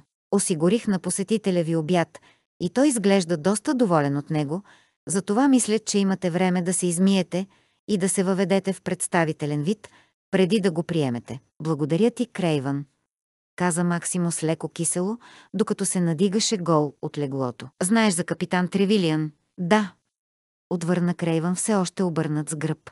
Проверих как е капитанът и ми се струва, че си почива спокойно. Докторът прати вест, че ще се върне след обеда, за да нагледа пациента си. Добре, Максимус се почувства по-добре, като разбра, че капитанът е преживял нощта. Крейвън прочисти гърлото си. Не можах да не забележа, че Виконт Килбурн вече не е в подземието. Максимус замръзна и водата се застича по лицето му. Какво? Изглежда, че някак си се е освободил от веригата си с помощта на дървен чук и длето и е избягал. Крейвън много внимателно се въздържа да не погледне към Артемис, която все още бе под завивките. Максимус нямаше подобни скруполи и забеляза, че дишането й е твърде леко, за да спи. Крейвън, чудя се дали би ни оставил за момент. Разбира се, ваша светлост. Максимус се загледа след камериера си, който тръгна към вратата. Знаеш ли, че Батилда се завърна неочаквано от провинцията? Изглежда, че разполагаше с информация, която може да е дошла само от тази къща. Едва ли знаеш нещо по въпроса, нали? Крейвън разтвори широко очи. Какво намеквате, ваша светлост? Максимус го изгледа накриво и затвори вратата след него. Когато се върна обратно при леглото, Артемис го гледаше. Някаква неизбежна тъга изпрати тръпка през костите му. Може би за това гласът му бе твърде силен, когато я попита. Ти си го освободила, нали? Да. Тя седна в леглото. Нима наистина очакваше нещо друго. Очаквах да ми се подчиниш, когато ти казах, че той трябва да остане заключен. Да ти се подчиня. Лицето й бе пребледняло и безизразно. Само в очите й гореше пожар. Тя се отдръпваше от него, а той не можеше да й го позволи. Да, щях да намеря безопасно място за него. Място, което щеше да е далеч от хората, които може да нарани. Ти, тя и сумтя подигравателно и отметна завивките. Отдолу беше гола, кожата й, розова и изкусителна от съня. Искаш да ти се подчинявам, като всичките ти други любовници. Да се настаня хубавичко в котията, в която решиш да ме пъхнеш. Не виждаш ли? Ще изгния в тази котия. Не мога да се побера в очакванията ти към мен. Той усети, че спорът почваше да се изплъзва от контрола му. Беше умел във воденето на дебати в камерата на лордовете, но това не бе логичен политически спор. Това бяха емоции, изложени кървящи на показ между един мъж и една жена. Той я погледна безпомощно, като някак си бе наясно, че този спор се отнасяше до далеч повече неща от трудното решение на това, как да се постъпи с брати. Артемис? Не. Тя се надигна, воинствена като истинска гръцка богиня, изграбче ризата си. Става дума за брат ми и Максимус. Ще застанеш на негова страна, а не на моя. О, той знаеше, че това бе грешка, още преди думите да се откъснат от устните му. Тя изправи рамене. Ако трябва. Били сме в една отроба. Една плът и кръв сме, свързани сме заедно завинаги, физически и духовно. Обичам брат си. А мен не. Тя застана неподвижна с ризата в ръцете пред себе си. За миг раменете й се отпуснаха, но след това тя вдигна глава. Неговата богиня, неговата Диана. Когато се умориш от мен, каза тя меко, прямо. Аполо все още ще е мой брат. Все още ще е до мен. Никога няма да се уморя от теб каза той и знаеше с всяка частица от душата си, че казваше абсолютната истина. Докажи го тогава. Знаеше какво иска тя от него с толкова открито и уязвимо лице. Нещо в него се сви и умря. Тя го заслужаваше. Заслужаваше съпруг, дом и деца. Неговите деца. Само, че от прекалено дълго време той се измъчваше в опита си да се покае, без да е сигурен, че някога покаянието му ще е достатъчно. Херцогството, баща му, Знаеш, гласът му бе дрезгав като хриптенето на умиращ. Навлъжни устните си. Знаеш защо не мога. Дължа му живота си, службата си, дълга да бъда херцогът. Тя присви едното си нежно голо рамо. Е, аз не дължа нищо на памета на баща ти. Той залитна, сякаш го бе зашлевила. Не можеш. Да, каза тя. Не мога. Мислех, че мога да го направя, наистина. Но разбираш ли, не съм достатъчно смела. Не мога да нараня всички около мен, не мога да нараня Пенелъпи, не мога да продължавам да наранявам самата себе си. Тя протегна трепереща ръка. Не пасвам в красивата котийка, която си направил за мен. Не мога да гледам как ставаш от моето легло и да знам, че ще отидеш в това на друга жена. Не съм светица. Моля те. Той молеше. Той, който никога преди не бе свеждал глава пред никого. Тя поклати глава и той се пречупи с грабче ръката й и придърпа тялото й към своето. Моля те, моя Дяна, моля те, не си отивай. Тя не му отвърна с думи, но повдигна лице към неговото и тъй сладко разтвори устните си, когато той притисна устата си към нейната. Той обхвана лицето и между дланите си, все едно държеше нещо безценно, докато отпиваше от устните й. Тя бе негова в този свят и в следващия. И ако той само успееше да я убеди в този едничък, неоспорим факт, то тогава може би би успял да спаси това. Все още би могъл да живее и да диша, докато тя е до него. Затова сега плъзна пръсти в косата й, поставяйки палците си върху слепоочията й, докато завладяваше устата й. Заявяваше претенциите си към нея нежно, хитро, като използваше всички сексуални уловки, които знаеше. Тя изтена и изви врата си, а той заликува вътре в себе си, докато придвижваше устата си към шията й, ближайки надолу тази стройна колона, вкусвайки жената и нуждата. Тя изтена и се опита да се откъсне, да извърне глава. Максимус, не мога. Шешете, прошепна той с треперещи ръце, докато ги плъзгаше надолу към кръста й. Моля те, моля те, позволи ми. Той пристъпи назад плавно, без да прави внезапни движения, придърпвайки я със себе си, докато не намери един стол и се отпусна на него. О, Максимус! Въздъхна тя, когато той я придърпа надолу и нежно я задържа в скута си. Да, сладка, измърмори той, докато разтваряше устата си над зърното й. Скъпи, каза тя и обхвана лицето му между дланите си, за да го накара да я погледне в очите. Той не искаше да я поглежда. Не му харесваше тази мрачна решителност в очите й. Обичам те, прошепна тя и душата му се понесе нависоко, докато тя не произнесе следващите си думи. Но трябва да си отида. Не. Той се вкопчи в бедрата й, сякаш бе тригодишно дете, което не си даваше играчката. Не. Да, отвърна тя. И тогава у него се надигна нещо жестоко, създадено от мъка и ярост. Той обхвана тила й и притисна устата й към своята. Щеше ли да му се противопостави? Как би могла? Тя ови ръце около врата му и му позволи да опустоши устата й, въздишайки, когато той разтвори краката й и я накара да го обязди. Членът му пулсираше помежду им като груб символ на желанията му. Хвана главичката му и го притисна към нея, докато не се отърка в красивото и котенце с жезала си.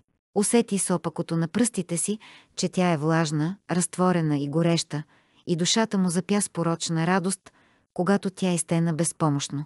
Господ му беше свидетел, че ако не можеше да има нищо друго от нея, то поне щеше да получи това. Тя се изви като елегантна дъга на еротизма и заби бедрата си към него.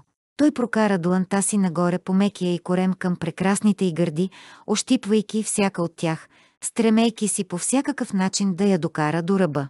Но тя осуети намеренията му. Надигна се над него и разтвори изпълнените си с решимост очи, преди да сплете пръстите си с неговите върху члена му. Дори това леко движение го накара да стисне зъби. Той гледаше през полузатворените си клепачи как тя го приближава към себе си, усети как короната му, влажна и чувствителна, навлиза в котенцето й. Максимус.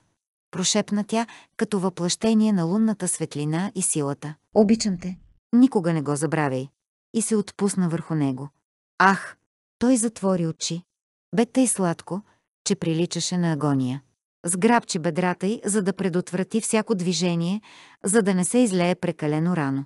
Дълбините й бяха горещи и стегнати и негов дом. Той отвори очи. Никога не ме напускай.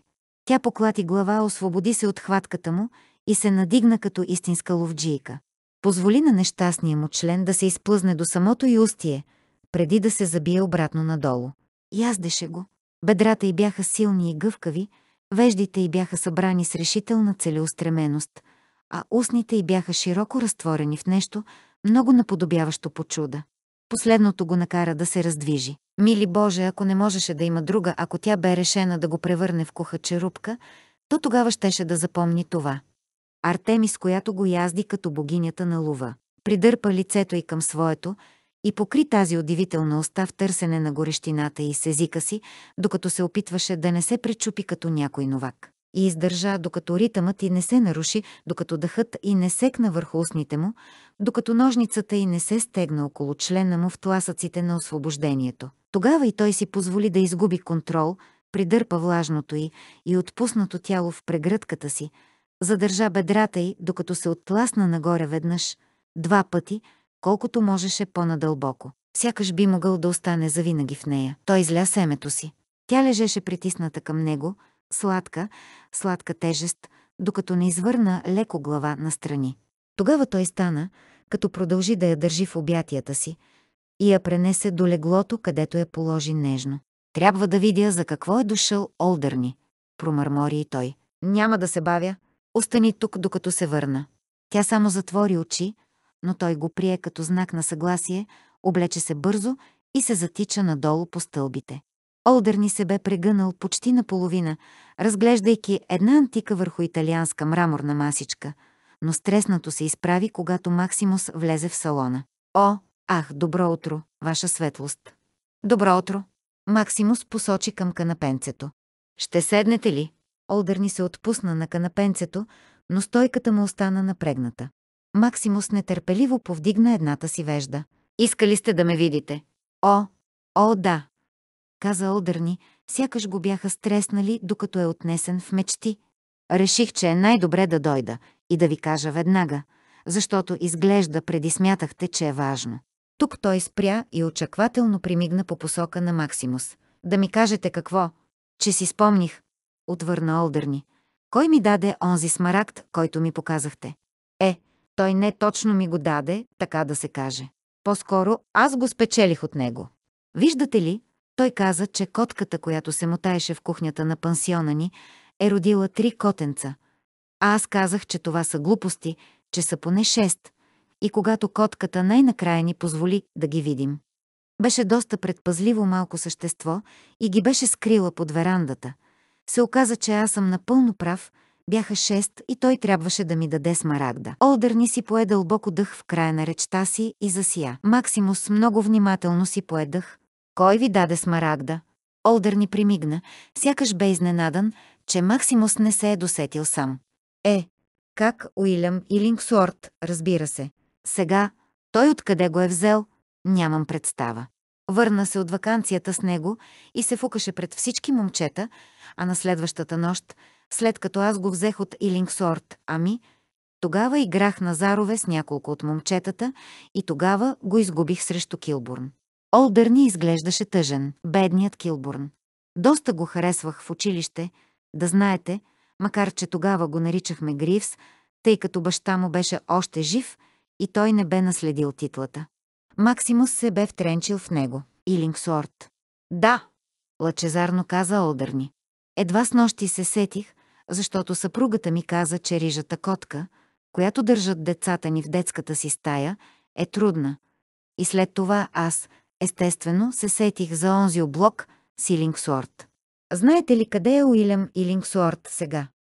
Попита Максимус без особена надежда. Точно сега, несериозно поклати глава Олдърни. Но ако наминете през дома му, слугите му може и да имат някаква представа. Дома му, повтори Максимус. Ами да, отвърна Олдърни. Живее на площад Хейвърс. Не е най-доброто място за живеене, но пък доходите му са ограничени. Баща му си падаше нещо комърджия. Благодаря ви. Максимус се изправи моментално. Какво? Какво? Олдър ни изглеждаше стреснат.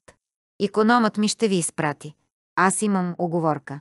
Максимус едва изчака, докато другият мъж излезе от стаята, за да се спусне обратно нагоре по стълбите. Все още имаше време. Само ако можеше да я накара да го чуе. Отвори вратата към спалнята си и веднага видя, че все пак времето му бе изтекло. Артемис си бе отишла. 19 глава. Артемис се измъкна през задната врата на Уейкфилд Хаус, събрала малкото си вещи в жалка мека турба, която стискаше в ръце. Паниката биеше в гърдите й и тя се поколеба. Трябваше да си отиде. Да си тръгне още сега, докато все още можеше, когато Максимус не бе пред нея. И не я изкушаваше с всичко, на което се бе надявала и никога не би могла да има само че не знаеше къде да отиде. Не й се струваше правилно да потърси Пенелапи, не и след онова, което бе сторила с Максимус, а със сигурност не можеше да помоли за помощ Лейди Хироу или Лейди Фиби. Вратата зад нея се отвори и тя се стегна. Не и отново. О, мили Боже, Не бе сигурна дали би могла да преживее отново всичко това с Максимус. Имаше чувството, че част от душата й е изтръгната и раната бавно и неспирно кърви на къде вътре в нея. Но гласът, който я повика, бе женски. Скъпа моя! Тя се извърна и видя ми Спикалут да я гледа с дълбоко съчувствие. Мога ли да помогна? И за първи път в живота си Артемис Гривс избухна в сълзи. Звезда, звезда, звезда! Максимус излезе с широка крачка от къщата си и извика да му приготвят коня. Изглежда, че това бе единственото, което му бе останало. Отмъщението. Е, ако бе така, то той възнамеряваше да приключи с задачата си бързо и с възможно най-голямо количество кръв. След няколко минути вече яздеше надолу по улицата. Вярно бе, че площад Хейвърс не е в много моден район на Лондон. Самата къща беше стара полудървена сграда, но не бе и наполовина толкова порутена, колкото някой от тези в Сейнт Джайлс. Максимус слезе от коня и даде на едно момченце шилинг, за да пази животното. Изглежда, че Илингсорт живееше под найем само на горните два етажа. И за щастие си бе вкъщи. Една възрастна прислужница поведе Максимус нагоре по стълбите и после го въведе в една претъпкана всекидневна, където го остави сам и си тръгна, без дума да каже. Максимус се завъртя и огледа стаята. Тя беше обзаведена с различни мебели, част от които преди са били скъпи. Мръсната камина не бе запалена, вероятно за да се спестят пари, а двете рамкирани гравюри на стената бяха ефтини. Вратата се отвори. Максимус се обърна и видя мъж в извехтял халат, изцапан отпред с нещо, което може би беше яйчен жълтък. Той носеше меко боне на главата си и беше небръснат. Рядката му рижа брада ограждаше слабо лице с толкова остри скули, че сякаш кожата бе опъната прекалено силно върху тях. Да, предпазливо попита Илингсуорт. Максимус ми подаде ръка. Аз съм Уейкфилд. Чудех се дали мога да ви задам няколко въпроса. Илингсуорт се втренчи объркано в протегнатата му ръка, преди да я поеме. Дланта му беше влажна. Да, повтори той. Очевидно домакинът му нямаше да му предложи да седне. Максимус бръкна в джоба си и извади висулката. Преди 13 години сте загубили това в облок с Джон Олдърни. Откъде го имахте? Какво? Илингсуорт се наведе напред, за да погледне висулката. Посегна към нея, но без да се замисли, Максимус затвори дланта си. При това му движение Илингсуорт вдигна очи. Защо искате да знаете? Защото, каза Максимус. Този смарагд беше част от огърлица, която принадлежеше на майка ми. Ах, лицето на Илингсуорт придоби многозначително изражение, което не се понрави на Максимус. Заложила я е, нали? Не. Откраднаха я в нощта, в която бе убита. Ако не го гледаше, Максимус можеше и да го пропусне. Леко помръдване, едва забележимо разширяване на очите. За миг всичко това изчезна и единственото, изписано по лицето на Илингсуорт, беше предпазливост. Преди 13 години бях 15 годишен ученик. Уверявам ви, ваша светлост, че нямам нищо общо с печалната смърт на майка ви. Не съм казал, че имате. Отвърна Максимус. Просто искам да знам от кого сте взели това. Но Илингсуорт поклати глава и бързо се насочи към камината. Никога през живота си не съм виждал това бижу. Държането му бе твърде небрежно. Мъжът лъжеше. Джон Олдер твърди друго. Илингсуорт се изсмя.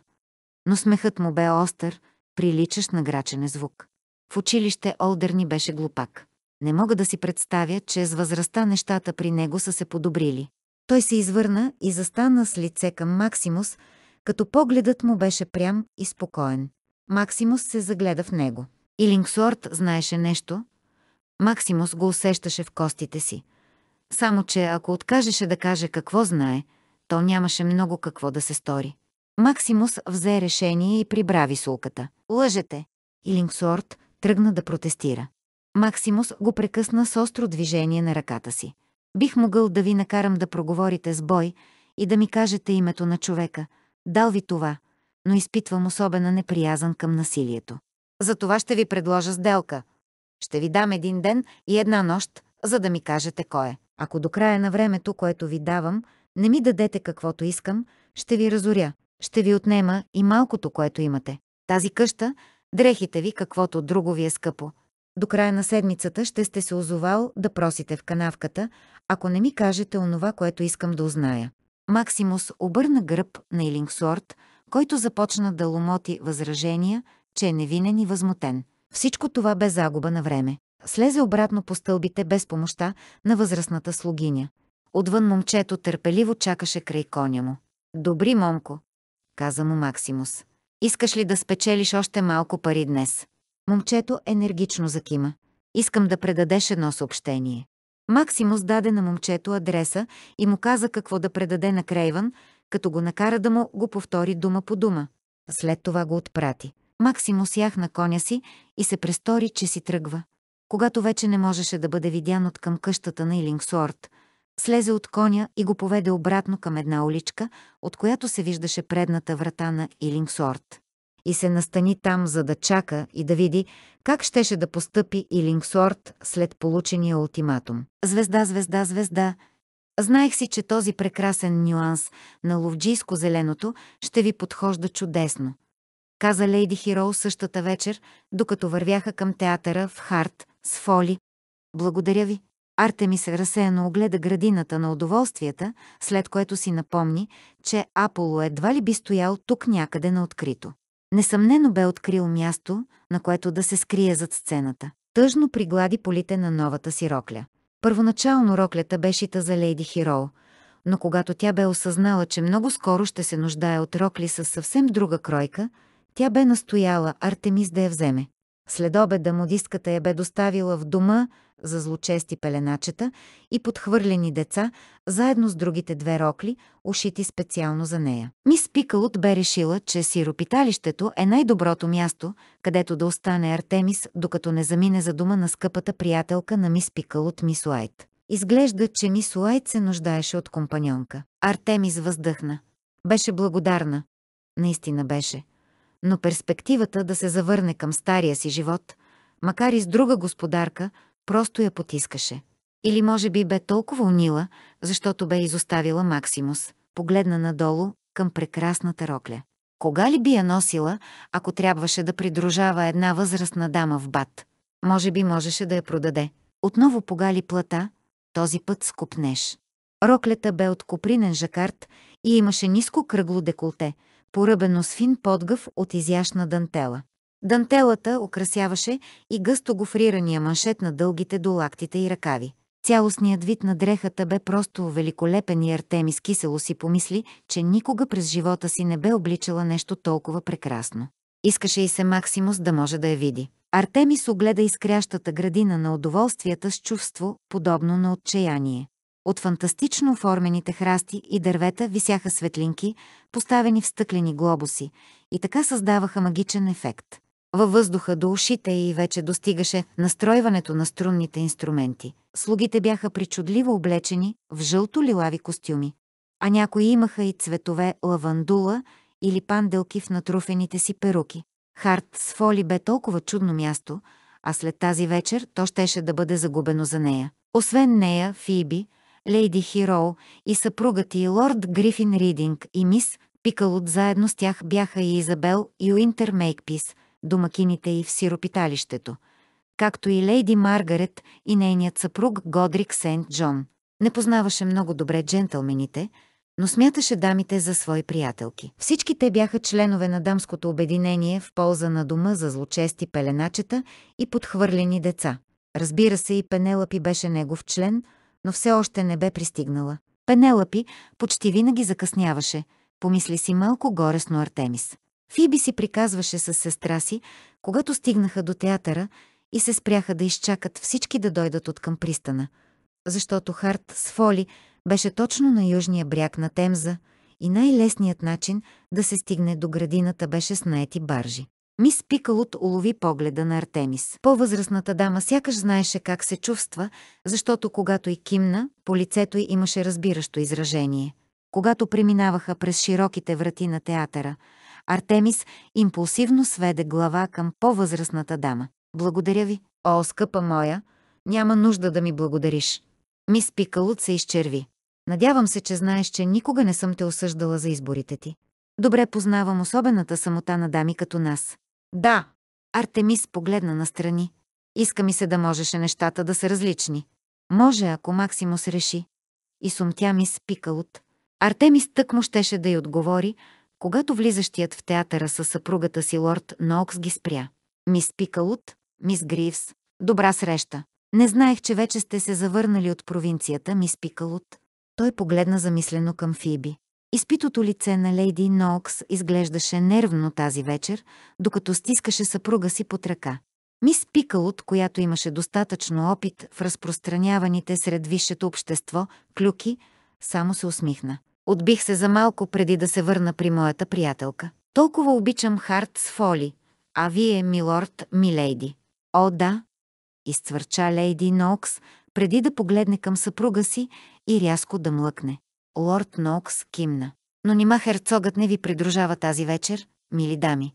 Не ни липсват придружители, каза ми Спикалут и посочи към лорд Грифин и другите джентълмени, които тък му се присъединяваха към тях, заедно с дамите си. Опасявам се, че херцогът имаше други ангажименти за тази вечер. Странна, изкривена, усмивка премина през лицето на лорд Ноукс. Надявам се, че не преследва духове. Артемис рязко го изгледа. Нима той някак си намекваше за призрака. Но той едва ли би могъл да знае за тайната на Максимус. Ако ме извините, дами, трябва да отиваме към ложата ми. Лорд Нокс се поклони и помъкна съпругата си със себе си. Що за странен коментар? Измърмори мис Пикалут и челото й се набръчка. Какво мислите, че имаше предвид с това да преследва духове? Артемис прочисти гърлото си. Нямам представа. О, ето я най-накрая и лейди Пенелапи, провлачена отбеляза Изабел Мейкпис с весел глас. Проклетницата ни накара всички да я чакаме.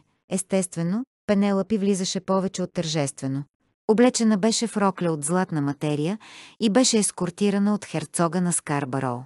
Когато влезе в претъпкания театър, тя разтвори ветрилото си и лениво се огледа наоколо. Артемис усети да я облива вълна от топлина към братовчетка й. Тя бе толкова суетна, толкова маниерна, но под обвивката си понякога можеше да бъде доста сладка. А Артемисия бе наранила толкова зле, без Пенелапи дори да подозира. Е, поне бе решила да напусне Максимус. Оставаше да се моли Пенелапи никога да не разкриеше истината. Артемис се усмихна и протегна ръка към Пенелапи, докато тя се приближаваше. Не се бяха виждали от дни. Пенелапи събра полите на роклята си и забърза крачка, почти хвърляйки се към нея. И въпреки това Артемис бе изненадана, когато получи шамара. Курва, изкрещя Пенелапи и гласът ти прокънтя в лобито на театъра, докато Артемис се съвземаше от удара, опитвайки се да си поеме дъх. Лейди Хироу и Изабел Мейкпи се хванаха. Мис Пикалот смело застана между нея и Пенелапи, но вече нямаше нужда. Херцогът на Скарбарол се бе придвижил много бързо, за да настигне Пенелапи. Сага той здраво я хвана за ръката и я дръпна назад. Обикновенно добросърдечното му лице бе намръщено. Какво става? Пенелапи задържа погледа си на Артемис, докато казваше. Знаеш, че искам Уейкфилд, и въпреки това си разтворила краката си за него като обикновена проститутка. Артемис остана втренчена в братовчетка си, с длан към бузата си, докато някаква ледена безчувственост сякаш започна да обхваща крайниците й. Нямаше право. Извика Пенелапи със сълзи в очите си. Никакво право. Той никога няма да се ожени за теб. Не е и сладостта на Аполо.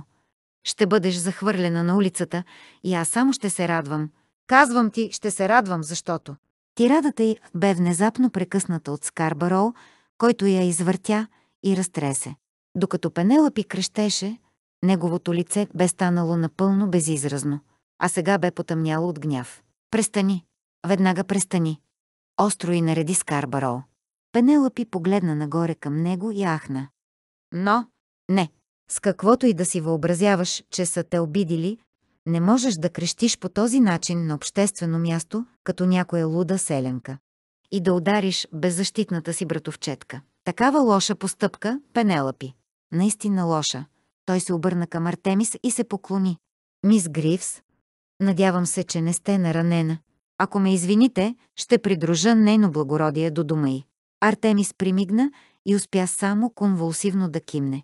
Очите на Пенелапи се разтвориха широко и в тях блеснаха сълзи. Но, Робърт, не. Херцогът се намръщи строго. Аз съм много търпелив, скъпа моя. И смятам, че съм ти засвидетелствал привързаността си, но и аз притежавам гордост. Просто няма да търпя да ревеш по този начин заради друг мъж. Опасявам се, че може да трябва да преосмисля ухажването ти. О, каза Пенелъпи много тихо и за първи път Артемис видя страх по лицето й. Хайде! Скар Барол я хвана над лакътя и изведе Пенелъпи от театъра. Настъпи миг на пълна тишина. Сърцето на Артемис се присви и я заболя. Тя нежно се освободи от държащите Изабел и Хирол и се обърна, за да се изправи лице в лице с предишните си приятели. Звезда, звезда, звезда. Когато Илингсуорт пристигна в Харт с Фоли, Максимус бе разочарован. Цял ден бе наблюдавал мъжа само за да го проследи как отива на театър вечерта. Изглежда, че си бе загубил времето. И в същото време осъзна, че ако се бе отказал от преследването поне този път, можеше да прекара същата тази вечер с Артемис и сестрите си. Самите те най-вероятно вече седяха в театъра. Артемис дори можеше да му позволи да говори с нея. Задържа се назад, докато Илинг Суорт тихо казваше нещо на един от слугите в ярки дрехи и слезе от баржата си едва след като плячката му се отдалечи. Какво искаше мистър Илинг Суорт? Попита Максимо същия слуга, докато му пъхаше монета в ръката. Искаше да знае дали лорд Нокс е тук тази вечер. Му беше отговорено. Максимус повдигна вежди. И тук ли е? Да, ваша светлост, каза слугата. И двамата лорд и лейди Нокс са тук тази вечер. В театъра са, както казах на мистър Илингсорт. Максимус изгледа слугата, изглеждаше схватлив млад мъж и извади една по-голяма монета, този път златна. Познаваш ли лорд Нокс? О, да, ваша светлост. Слугата се загледа в златната монета. Той и племенникът му често посещават театъра. Племенникът му. Не знаете ли, ваша светлост, повдигна вежди слугата. Мистър Илингсорт е племенник на лорд Ноукс. Максимус разсеяно пъхна монетата в шепата на младия мъж. Не, не бе знаел. Нокс не бе от особено близките му познати.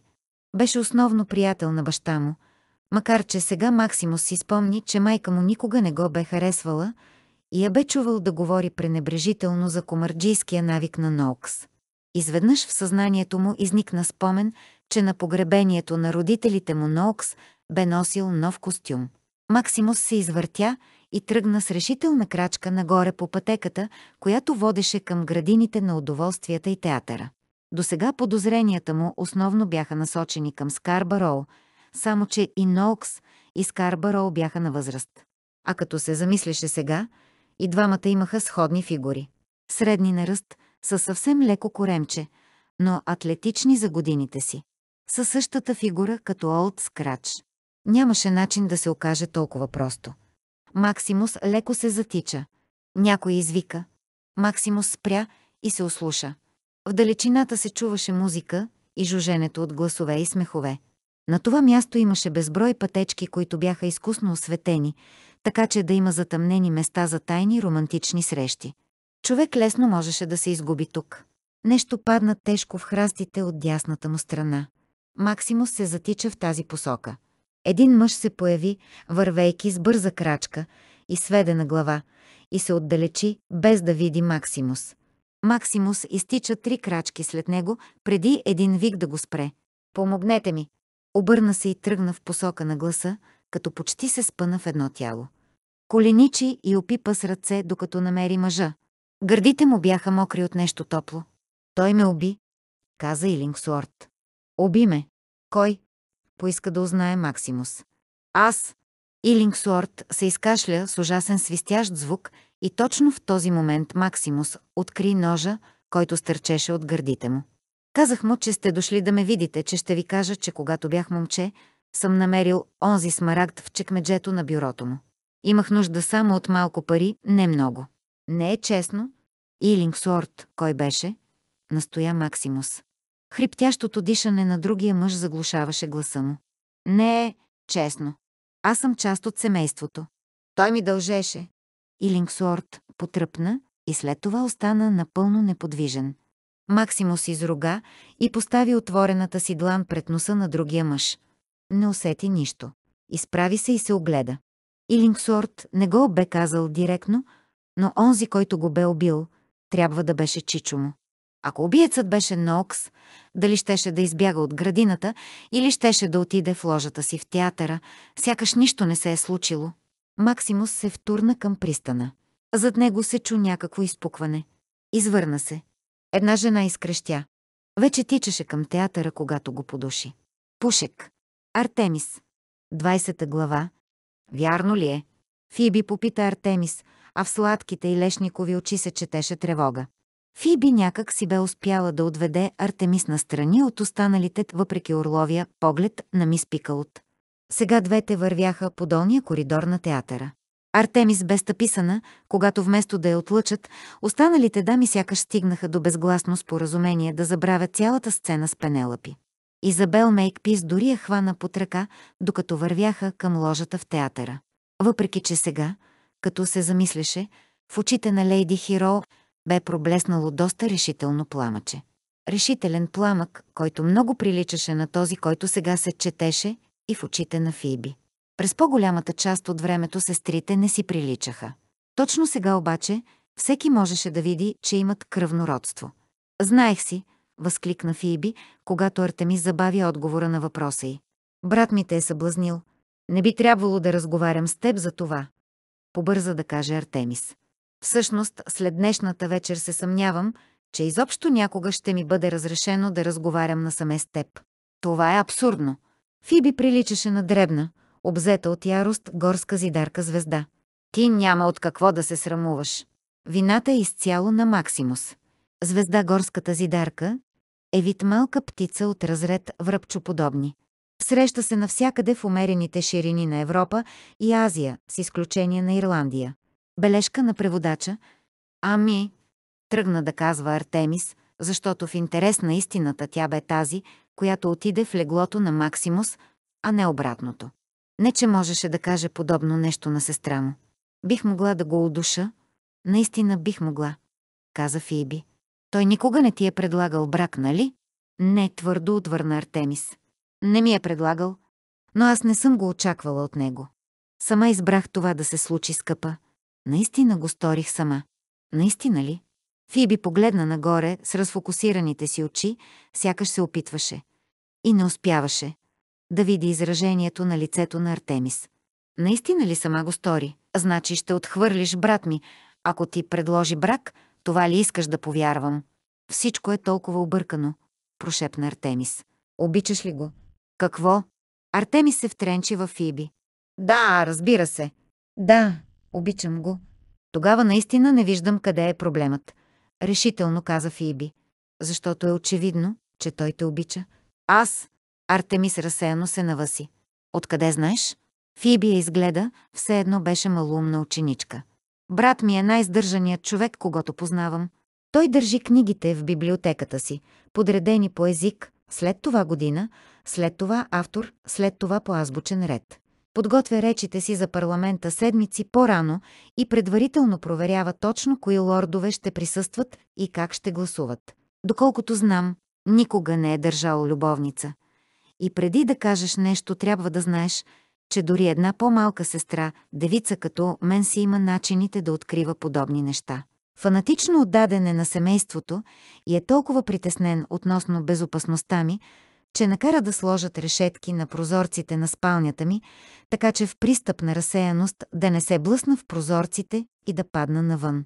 Фиби си поедъх и прониза Артемис с очи. И въпреки това, той те замъкна в гората пред очите на всичките си гости, изпуска така добре сдържаните си нерви заради теб и те е съблазнил в собствения си дом. Дом, който споделя с мен. Или брат ми страда от мозъчна треска, или се е влюбил до уши в теб. Артемис не успя да сдържи усмивката си, макар всичко това да нямаше значение. В крайна сметка Максимус нямаше да се ожени по любов. Щеше да се ожени, за да угоди на отдавна мъртвия си баща. Тя отвори уста, за да обясни нежно това на Фиби, когато една жена изпищя. И след това усети миризма на пушек. Една бледа струйка дим невинно се завихри в коридора, в който стояха. Сърцето на Артеми заби бързо. Театърът беше стар, направен от дърво и мазилка. Усещам дим, каза Фиби. Да. Артеми се хвана за ръка. Трябва да се махнем от тук. Къде беше Аполо? Дали изобщо беше в Харт с Фоли? Толкова загадъчно се бе държал по отношение на това къде точно ще отиде. Във всеки случай нямаше време да го търси. Само можеше да се надява, че ще успее да се махне от театъра, в случай, че наистина беше тук. Артемис издърпа Фиби към изхода. Естествено, и всички останали се бяха насочили натам, за да избягат навън. В коридора наизлизаха хора, които се блъскаха едни в други в паниката си. Един як джентълмен силно избута Артемис към стената, докато забързано минаваше покрай нея. Пръстите й се плъзнаха и изпуснаха тези на Фиби. Фиби! Викът ти бе погълнат от тълпата. Тя си запробива път наобратно, ръгайки с лакти хората без никакво чувство за приличие. Фиби! Успя да зърне лицето на приятелката си, застанала с широко разтворени в паника невиждащи очи. Артемис я сграбчи за ръката и я стисна здраво. Артемис! проплака Фиби. Моля те, не ме оставяй тук. Няма скъпа. Между тях и изхода имаше твърде много хора. Ела от тук. Мисля, че видях една странична врата. Пушекът се сгъстяваше с плашеща скорост. Артемис се разкашля, докато дърпаше Фиби в посоката, в която беше видяла вратата. От към сцената се чу силен пукот, последван веднага от пронизителен вик. Артемис откри вратата и я бутна. Тя обаче опорито отказа да се отвори. Заключена е, извика тя на Фиби, докато опипваше ръба на вратата. Помогни ми да намеря резето. От пушека по лицето й се стичаха сълзи, които я заслепяваха, и Артемис усети как започва да я обзема паника. Ако не успееха да отворят вратата, пръстите й напипаха нещо метално. Бързо издърпа резето и заедно с Фиби. Препъвайки се, излязоха на чист въздух. Обърна се, за да погледне назад и замръзна. Какво има? извика Фиби. Цялата градина е в пламъци. Оплашено прошепна Артемис. От горния край на театъра излизаха пламъци, докато гостите на градината, актьори, слуги и останалият обслужващ персонал се стичаха навън от сградата. Под ръководството на един мъж със светло кафява дълга коса се бе оформила бригада за подаване на кофи с вода, но Артемис виждаше, че това вече е изгубена кауза. Пламъците се бяха прехвърлили към изкусно засадените дървета и храсти и препускаха към откритата тераса, на която обикновено свиреха музикантите. Скоро всичко щеше да гори. «Хайде!» извика Артемис. Трябва да стигнем до пристана. Ами, Хироу, дръпна се назад Фиби. И братовчетката Батилда. Господата бяха с тях. Каза Артемис, като се молеше да е права. Те ще отведат сестра ти и братовчетка ти и всички останали в безопасност. Започна да си пробива път през хръсталаците, защото пътеките бяха задръстени от стичащи се хора. Красивата и нова тъмно-зелена рокля бе изцапана със сажди и разкъсана от клони – но това нямаше никакво значение. Ах, леди Фиби! Провлачено и със странно спокойствие каза един глас. Артемис вдигна поглед и видя лорд Ноукс, който стоеше на пътя им. В едната си ръка държеше пистолет, а другата. Другата бе цялата в кръв. Ранен ли сте ми, лорд? Глупаво попита Артемис, защото моментално разбра, че нещо съвършено друго не е наред. О, не аз, весело каза лорд Ноукс. А сега, ако нямате нищо против, бих искал да отстъпите настрани, защото се нуждая от леди Фиби. Бих искал да напусна Англия и смятам за благоразумно да взема сестрата на Уейкфилд със себе си, ако той се опита да ме задържи. Ако допуснеше Фиби да бъде наранена, Максимус никога нямаше да й прости. Тя сама нямаше да си прости. Милорд, внимателно каза Артемис, докато отстъпваше крачка назад, за да застане като щит пред Фиби. Лейди Фиби си изкълчи глезена и едва ходи. Сигурна съм, че ще разберете, защо не може да дойде с вас. Знаете ли, не мога да преценя дали лъжете или не, общително каза лорд Ноукс. Отляво долетя мъжки вик. Погледът в очите на лорд Ноукс се втвърди. Но предполагам, че няма значение дали ще взема сестрата на Уейкфилд или курвата му. И вие ще свършите същата работа.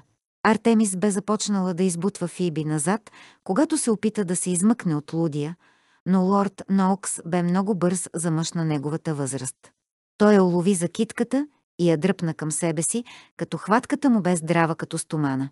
Тя започна да се съпротивлява, но лорд Ноукс насочи пистолета към Фиби. «Престанете или ще я застрелям!» Артемис моментално притихна. «Артемис!» извика Фиби, застанала с широко разперени ръце.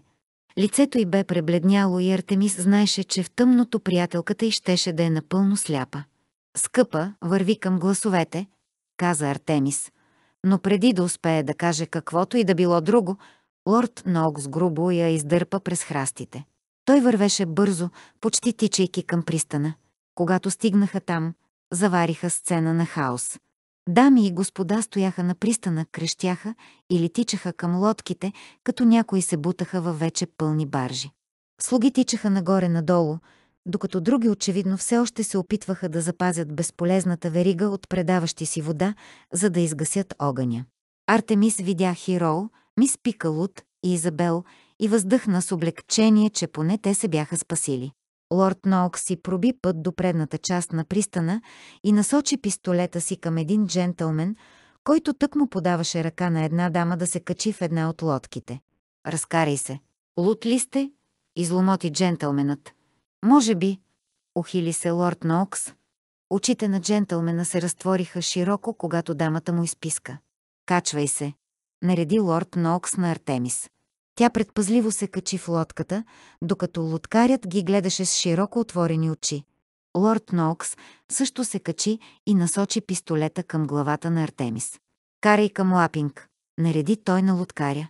Вече навлизаха в средата на реката, когато от към пристана долетя вик. Максимус стоеше там, а до него беше Фиби.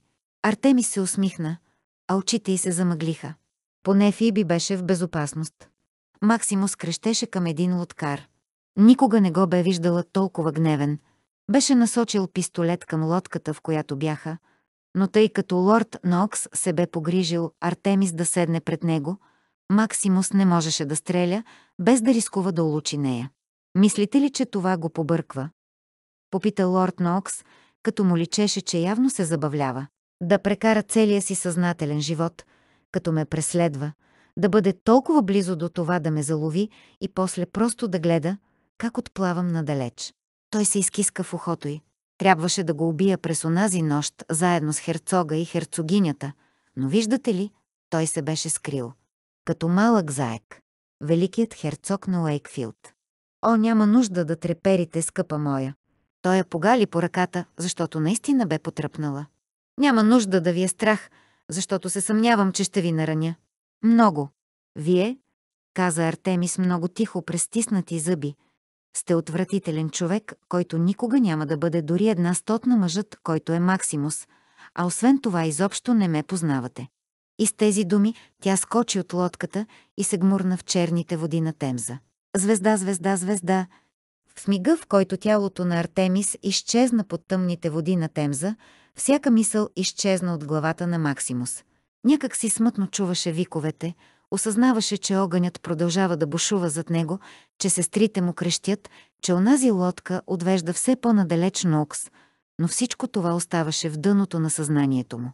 Пусна пистолета, който държеше. Пресегна се към джоба на сакото си за камата, която беше взел от Олд Скрач и я стисна между зъбите си. Свали сакото и обувките си. И след това се гмурна в темза. Един тих и спокоен глас някъде в главата му отброяваше секундите, откакто тя бе изчезнала, отбелязваше факта, че още не бе изплувала и пресмяташе скоростта, с която течеше реката. Изплува и се насочи към едно място малко по-надолу по течението от мястото, където бе скочила. Проехтя изстрел, бързо последван от още един. Гмурна се в тъмнината. Протягаше ръка, но вече не виждаше нищо. Трескаво заопипва наоколо. Нищо. Нищо. Нищо. Дробовете му започнаха да се присвиват. Избута се към повърхността, за да си поеме дъх през зъби. Отново се гмурна. Нищо. Нищо. Нищо. Очите го засмъдяха. С езика си усети вкуса на смъртта. Това не можеше да е края ти. Нямаше да го позволи. Гмурна се по-надълбоко. Нищо. Гърдите му крещяха. Не виждаше смисъл отново да изплува към повърхността. Погледна нагоре за последно и видя една бяла ръка. Една красива бяла ръка. Сграбчия и я придърпа, докато не се озова в обятията му и започнаха да потъват под тежеста на прогизналите и поли. Той взе ножа от устата си и го вкара под линията на врата, отзад на роклята й и силно го дръпна. Тънката коприна се сцепи под ножа му чак до кръста й. Той разпори ръкавите и ги откъсна от безжизнените й ръце, преди да издърпа роклята през бедрата й. След това зарита силно с крака и докато изплуваха нагоре, тя се изхлузи от одеждата си като селки звезда, което сменя кожата си. Звезда селки според северногерманската и келтската митологии е митично същество, което може да се превръща от тюлен в човек, като се изхлузва от кожата си. Бележка на преводача изстреляха се на повърхността. Той сплува, жадно поемайки си дъх и погледна към Артемис. Лицето й бе бяло, устните посинели, а косата й се носеше безжизнено във водата. Изглеждаше мъртва. Изведнъж едни ръце го сграбчиха и той за малко да се опита да ги отблъсне, когато осъзна, че това са Уинтер Мейкпис и Годрик Сейнт Джон, които го дърпат в една лодка. Издърпайте първо нея, нареди Максимус. Без да продумат, мъжете издърпаха Артемис в лодката, а след това и Максимус се прехвърли през борда, падайки тежко на дъното й. Моментално я взе в прегръдките си и разряза курсета й. Тя не се помръдна. Той я разтърси. Артемис. Главата й отпуснато увисна назад и после напред. Мейкпис положи длан върху ръката му. Ваша светлост. Той не обърна внимание на другия мъж. Диана.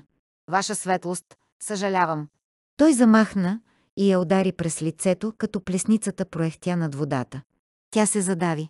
Той моментално я завъртя, така че главата й да се надвеси над борда на лодката. Тя се разкашля и силна струя мръсна вода бликна като фонтан от устата й. Никога не бе виждал толкова прекрасна гледка през живота си. Когато тя престана да кашля, той я сграбчи обратно в обятията си. Сейнт Джон свали сакото си и му го подаде. Максимус нежно го наметна на раменете й и обви ръце около нея. Никога повече нямаше да я пусне след случилото се. Какво по дяволите си мислеше, че правиш? Мейкпис повдигна едната си вежда — но Максимус не му обърна внимание. Никога, никога не искаше да преживява подобна агония отново. Той погледна гневно надолу към жената в обятията си. Мислех си, дрезгаво каза тя, че не можеш да стреляш, докато съм ти на пътя. Той подпъхна главата и под брадичката си и прокара длан по мократа й коса. И затова реши да се самопожертваш. Госпожо, не ви смятах за малоумна.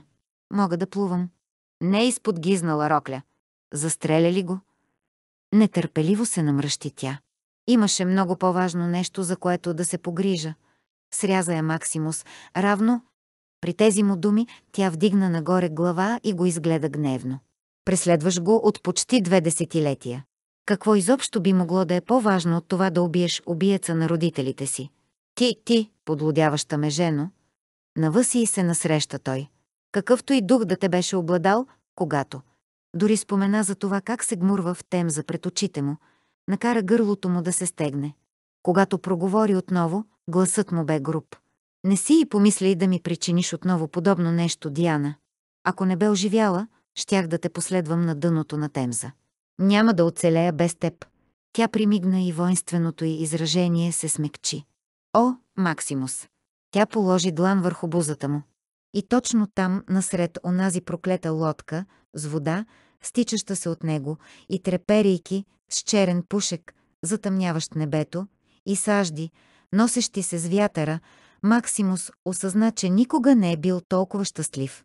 Някой ден ще го открия отново. Промърмори той в ухото й. Но веднъж да те изгубя теб. Не бих могъл да намеря пак живота без теб, моя Диана. Моля те, любов моя, никога не ме напускай. Обещавам на гроба на майка си, че завинаги ще съм ти верен само на теб. Няма да те напусна, прошепна му в отговор тя, докато сладките и сиви очи горяха. Макар, че е жалко, че изпусна шанса си с лорд Нокс. Мейкпис прочисти гърлото си. Що се отнася до това?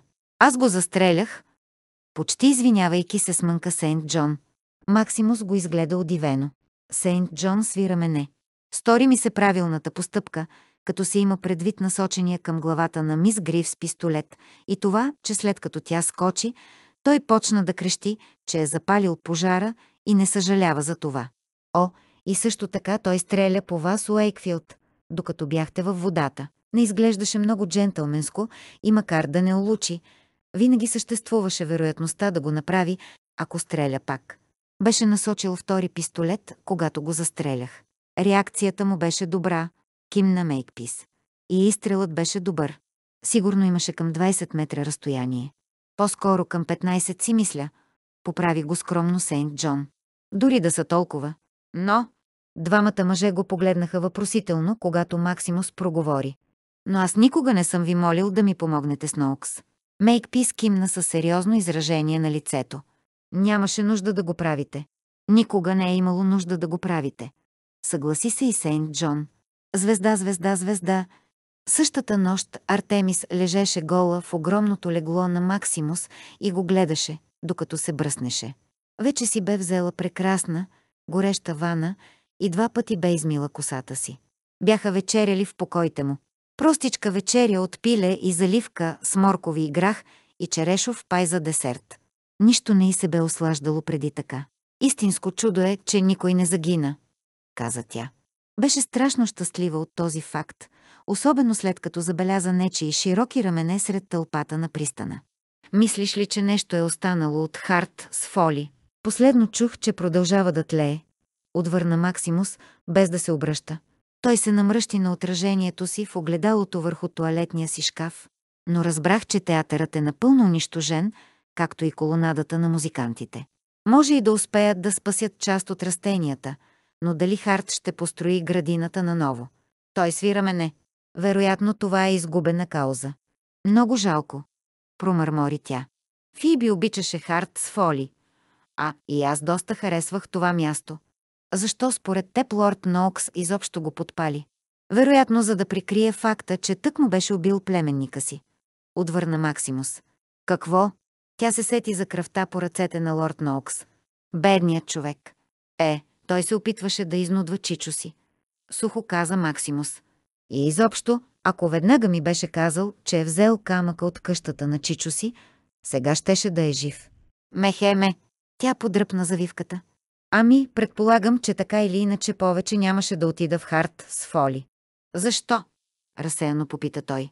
Пиесата не ти ли хареса? Не стигнахме до нея. Тя въздъхна. Пенелъпи изпадна в истерия, когато пристигнахме и направи сцена. Изненадана съм, че никой не ти е казал. Какво? Обърна се бавно той. Тя го погледна. Нарече ме курва. Проклятие. Той погледна навъсено към ръцете си. Това разваля плановете ми. Какви планове? Докато плувах през онази мръсна вода, взех решение. Той отиде до заключеното ковчеже и го отвори. Смятах първо да поръчам да я преправят, преди да те попитам. Струваше ми се някак символично. Той я погледна гневно. Сега ще трябва да го направя така. Тя повдигна вежди. Моля? След това Максимус направи нещо много странно. Той застана на едно коляно пред нея. Това изобщо не е правилно, каза той, като продължаваше да я гледа така, сякаш всичко беше по нейна вина. Тя седна в леглото. Какво правиш? Артемис Гривс, ще ми окажеш ли честа да... Полудя ли? Настойчиво го попита тя.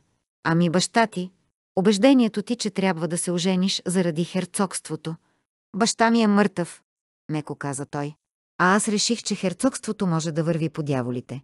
Но, ше-ше-ше те, сряза е той. Опитвам се да ти предложа както трябва, дори и без огърлицата на майка ми. Но защо? попита тя. Ти мислиш, че брат ми е луд. Изглеждаше ми доста нормален последния път, когато го видях. Мило каза Максимус. Опита се да ме нападне. Тя се опули. Повечето хора биха приели това като потвърждение за лудостта му. Той свира мене, докато се пресягаше в ковчежето за висулката, която тя бе носила около врата си толкова дълго време. Тя лежеше до останалите шест смарагда, вече всичките на своето място, след като последният бе свален от мъртвото тяло на Ноукс. Той реши, че съм съблазнил сестра му. О, тя се изчерви, защото още се чувстваше неудобно при мисълта, че Аполо знаеше за това. Знам, че това не отговаря на очакванията ти, каза той, докато сваляше пръстена си печат и го нанизваше на веришката, на която висулката все още бе закачена. Но възнамерявам да те направя почтена жена. Нали не заради онова, което Пенелапи каза? Възпротиви се тя. Не. Той постави веришката около врата й и положи внимателно пръстена и висулката между гърдите й. От докосването на топлите му пръсти зърната и порозовяха. Всъщност, да, до някъде. Не искам да си мислиш, че ще позволя на когото и да било да те нарича така. Заклех се в това, докато те търсех под водата, че ако успея да те измъкна жива, той се наваси и прочисти гърлото си. Както и да е, а огърлицата може да сложиш на сватбата. Максимус. Тя обхвана лицето му с длани и го накара да я погледне. Не искам да се жениш за мен, само защото искаш да защитиш името ми. Ако... Той прекъсна искреното и възражение, като се хвърли към нея и покри устните й със своите. Целуваше я дълбоко, с отворена уста, докато тя вече трудно можеше да си спомни за какво всъщност разговаряха. Когато спря да я целува, той продължи да я държи здраво, сякаш обзет от страх да я пусне. Обичам те, моя Диана. Мисля, че те обичам, откакто те заварих да ходиш боса из гората ми. Дори когато смятах, че не мога да се оженя за теб, възнамерявах на всяка цена да те задържа завинаги до себе си. Той се отдръпна, за да я погледне, и тя видя с пълно удивление, че в изражението му имаше следа. Много малка следа. От несигурност. Той прокара палеца си по страната на лицето й. Ти не бива да ме напускаш. Без теб няма светлина на този свят. Няма смях. Няма смисъл. Дори ако поради някаква глупава причина не желаеш да се омъжиш за мен, поне ми обещай. Ше-ше-ше-те. Тя обхвана лицето му с длани. Да, ще се омъжа за теб, глупчо. Обичам те. Най-вероятно дори ще сложа екстравагантната огърлица на майка ти, макар че на мен далеч няма да изглежда толкова добре, колкото върху Пенелъпи. Ще направя всичко, което искаш, така че да останем заедно. Завинаги. При тези нейни думи той се надигна, плени устата й и я загради със силните си, собственически ръце. Когато най-накрая й позволи да си поеме дъх, тя видя, че й се мръщи насреща. Ще се оженим след три месеца. Ще носиш смарагдите на Уейкфилд и обиците, които ще поръчам, но ме чуй добре. Бъркаш. Никоя друга не би изглеждала по-добре от теб с тези смарагди. Братовчетка ти може и да има хубаво лице, но ти, скъпа моя смела, владяваща ме, съблазнителна, мистериозна, чудна Диана, ти си херцогинята на Уейкфилд. Моята херцогиня. Епилог. По същото време, девет шибани години. Аполо седеше върху една преобърната тенекия на кофа и гледаше как добрият му приятел Ейса Мейкпис вдига във въздуха бутилката с вино, която стискаше в юмрука си, в предизвикателен салют. Чу, аш ли ме, Поло?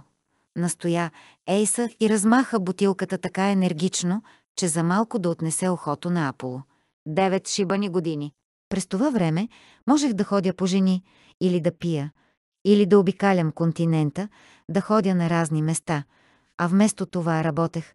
Не, рубувах в тая градина на удоволствията, строях и съдях и глезех капризни актриси и още по-капризни актьори. А сега? Сега тя не е нищо повече от димяща купчина лайна. Пак ти казвам, девет шибани години. Аполо въздъхна и отпи от собствената си бутилка, докато Ейса продължаваше да повтаря пошлия си рефрен. Бутилката на Аполо бе преполовена и това бе добре, защото така вече не го беше грижа, че виното смърди на пушек.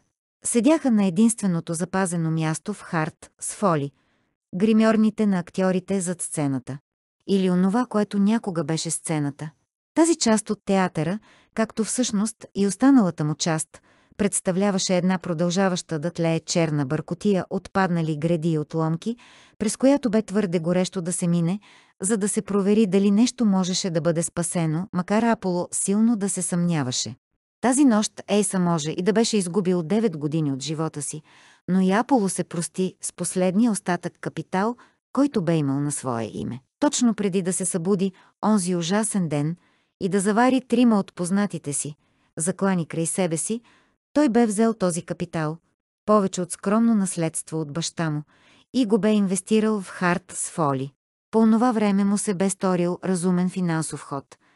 Той изобщо не умееше да борави с пари, а Ей се изглеждаше на ръба да постигне богатство и благополучие в това начинание. Аполо не бе имал големи очаквания. Може би да получи достатъчно приход като дивиденти, за да издържа себе си и Артемис. Тази мечта току-що се бе превърнала в пепел. Подозирам, че сега ще трябва да живея на улицата.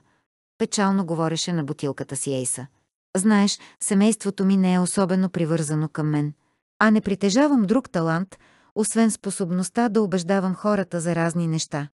Както убедих теб да ми дадеш всичките си спестявания, Поло. Аполо би извадил Ейса от заблуждението му. По собствена воля беше взел решението за инвестицията.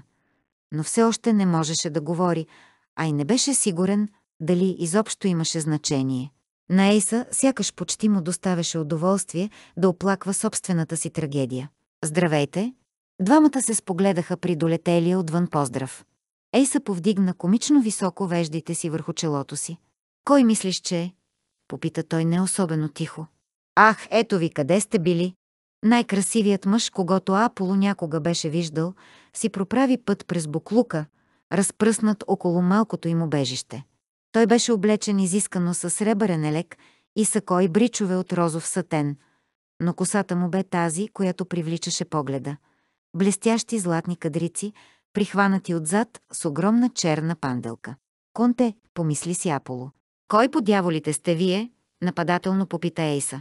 Контето се усмихна и Аполо присви очи. Мъжът може и да беше красив, но не беше човек за подценяване. Аз ли? Контето изтънчено постели една дантелена носна кърпичка върху останките от една пейка и се настани на нея. Аз съм Валентайн Нейпиер, херцогът на Монтгомъри, и имам предложение за вас, мистер Мейкпис. Елизабет Хойт, Дук of Midnight, 2013. Елизабет Хойт, Владетел на нощта. Книга 6 от поредицата Тайните на Мейдън Лейн,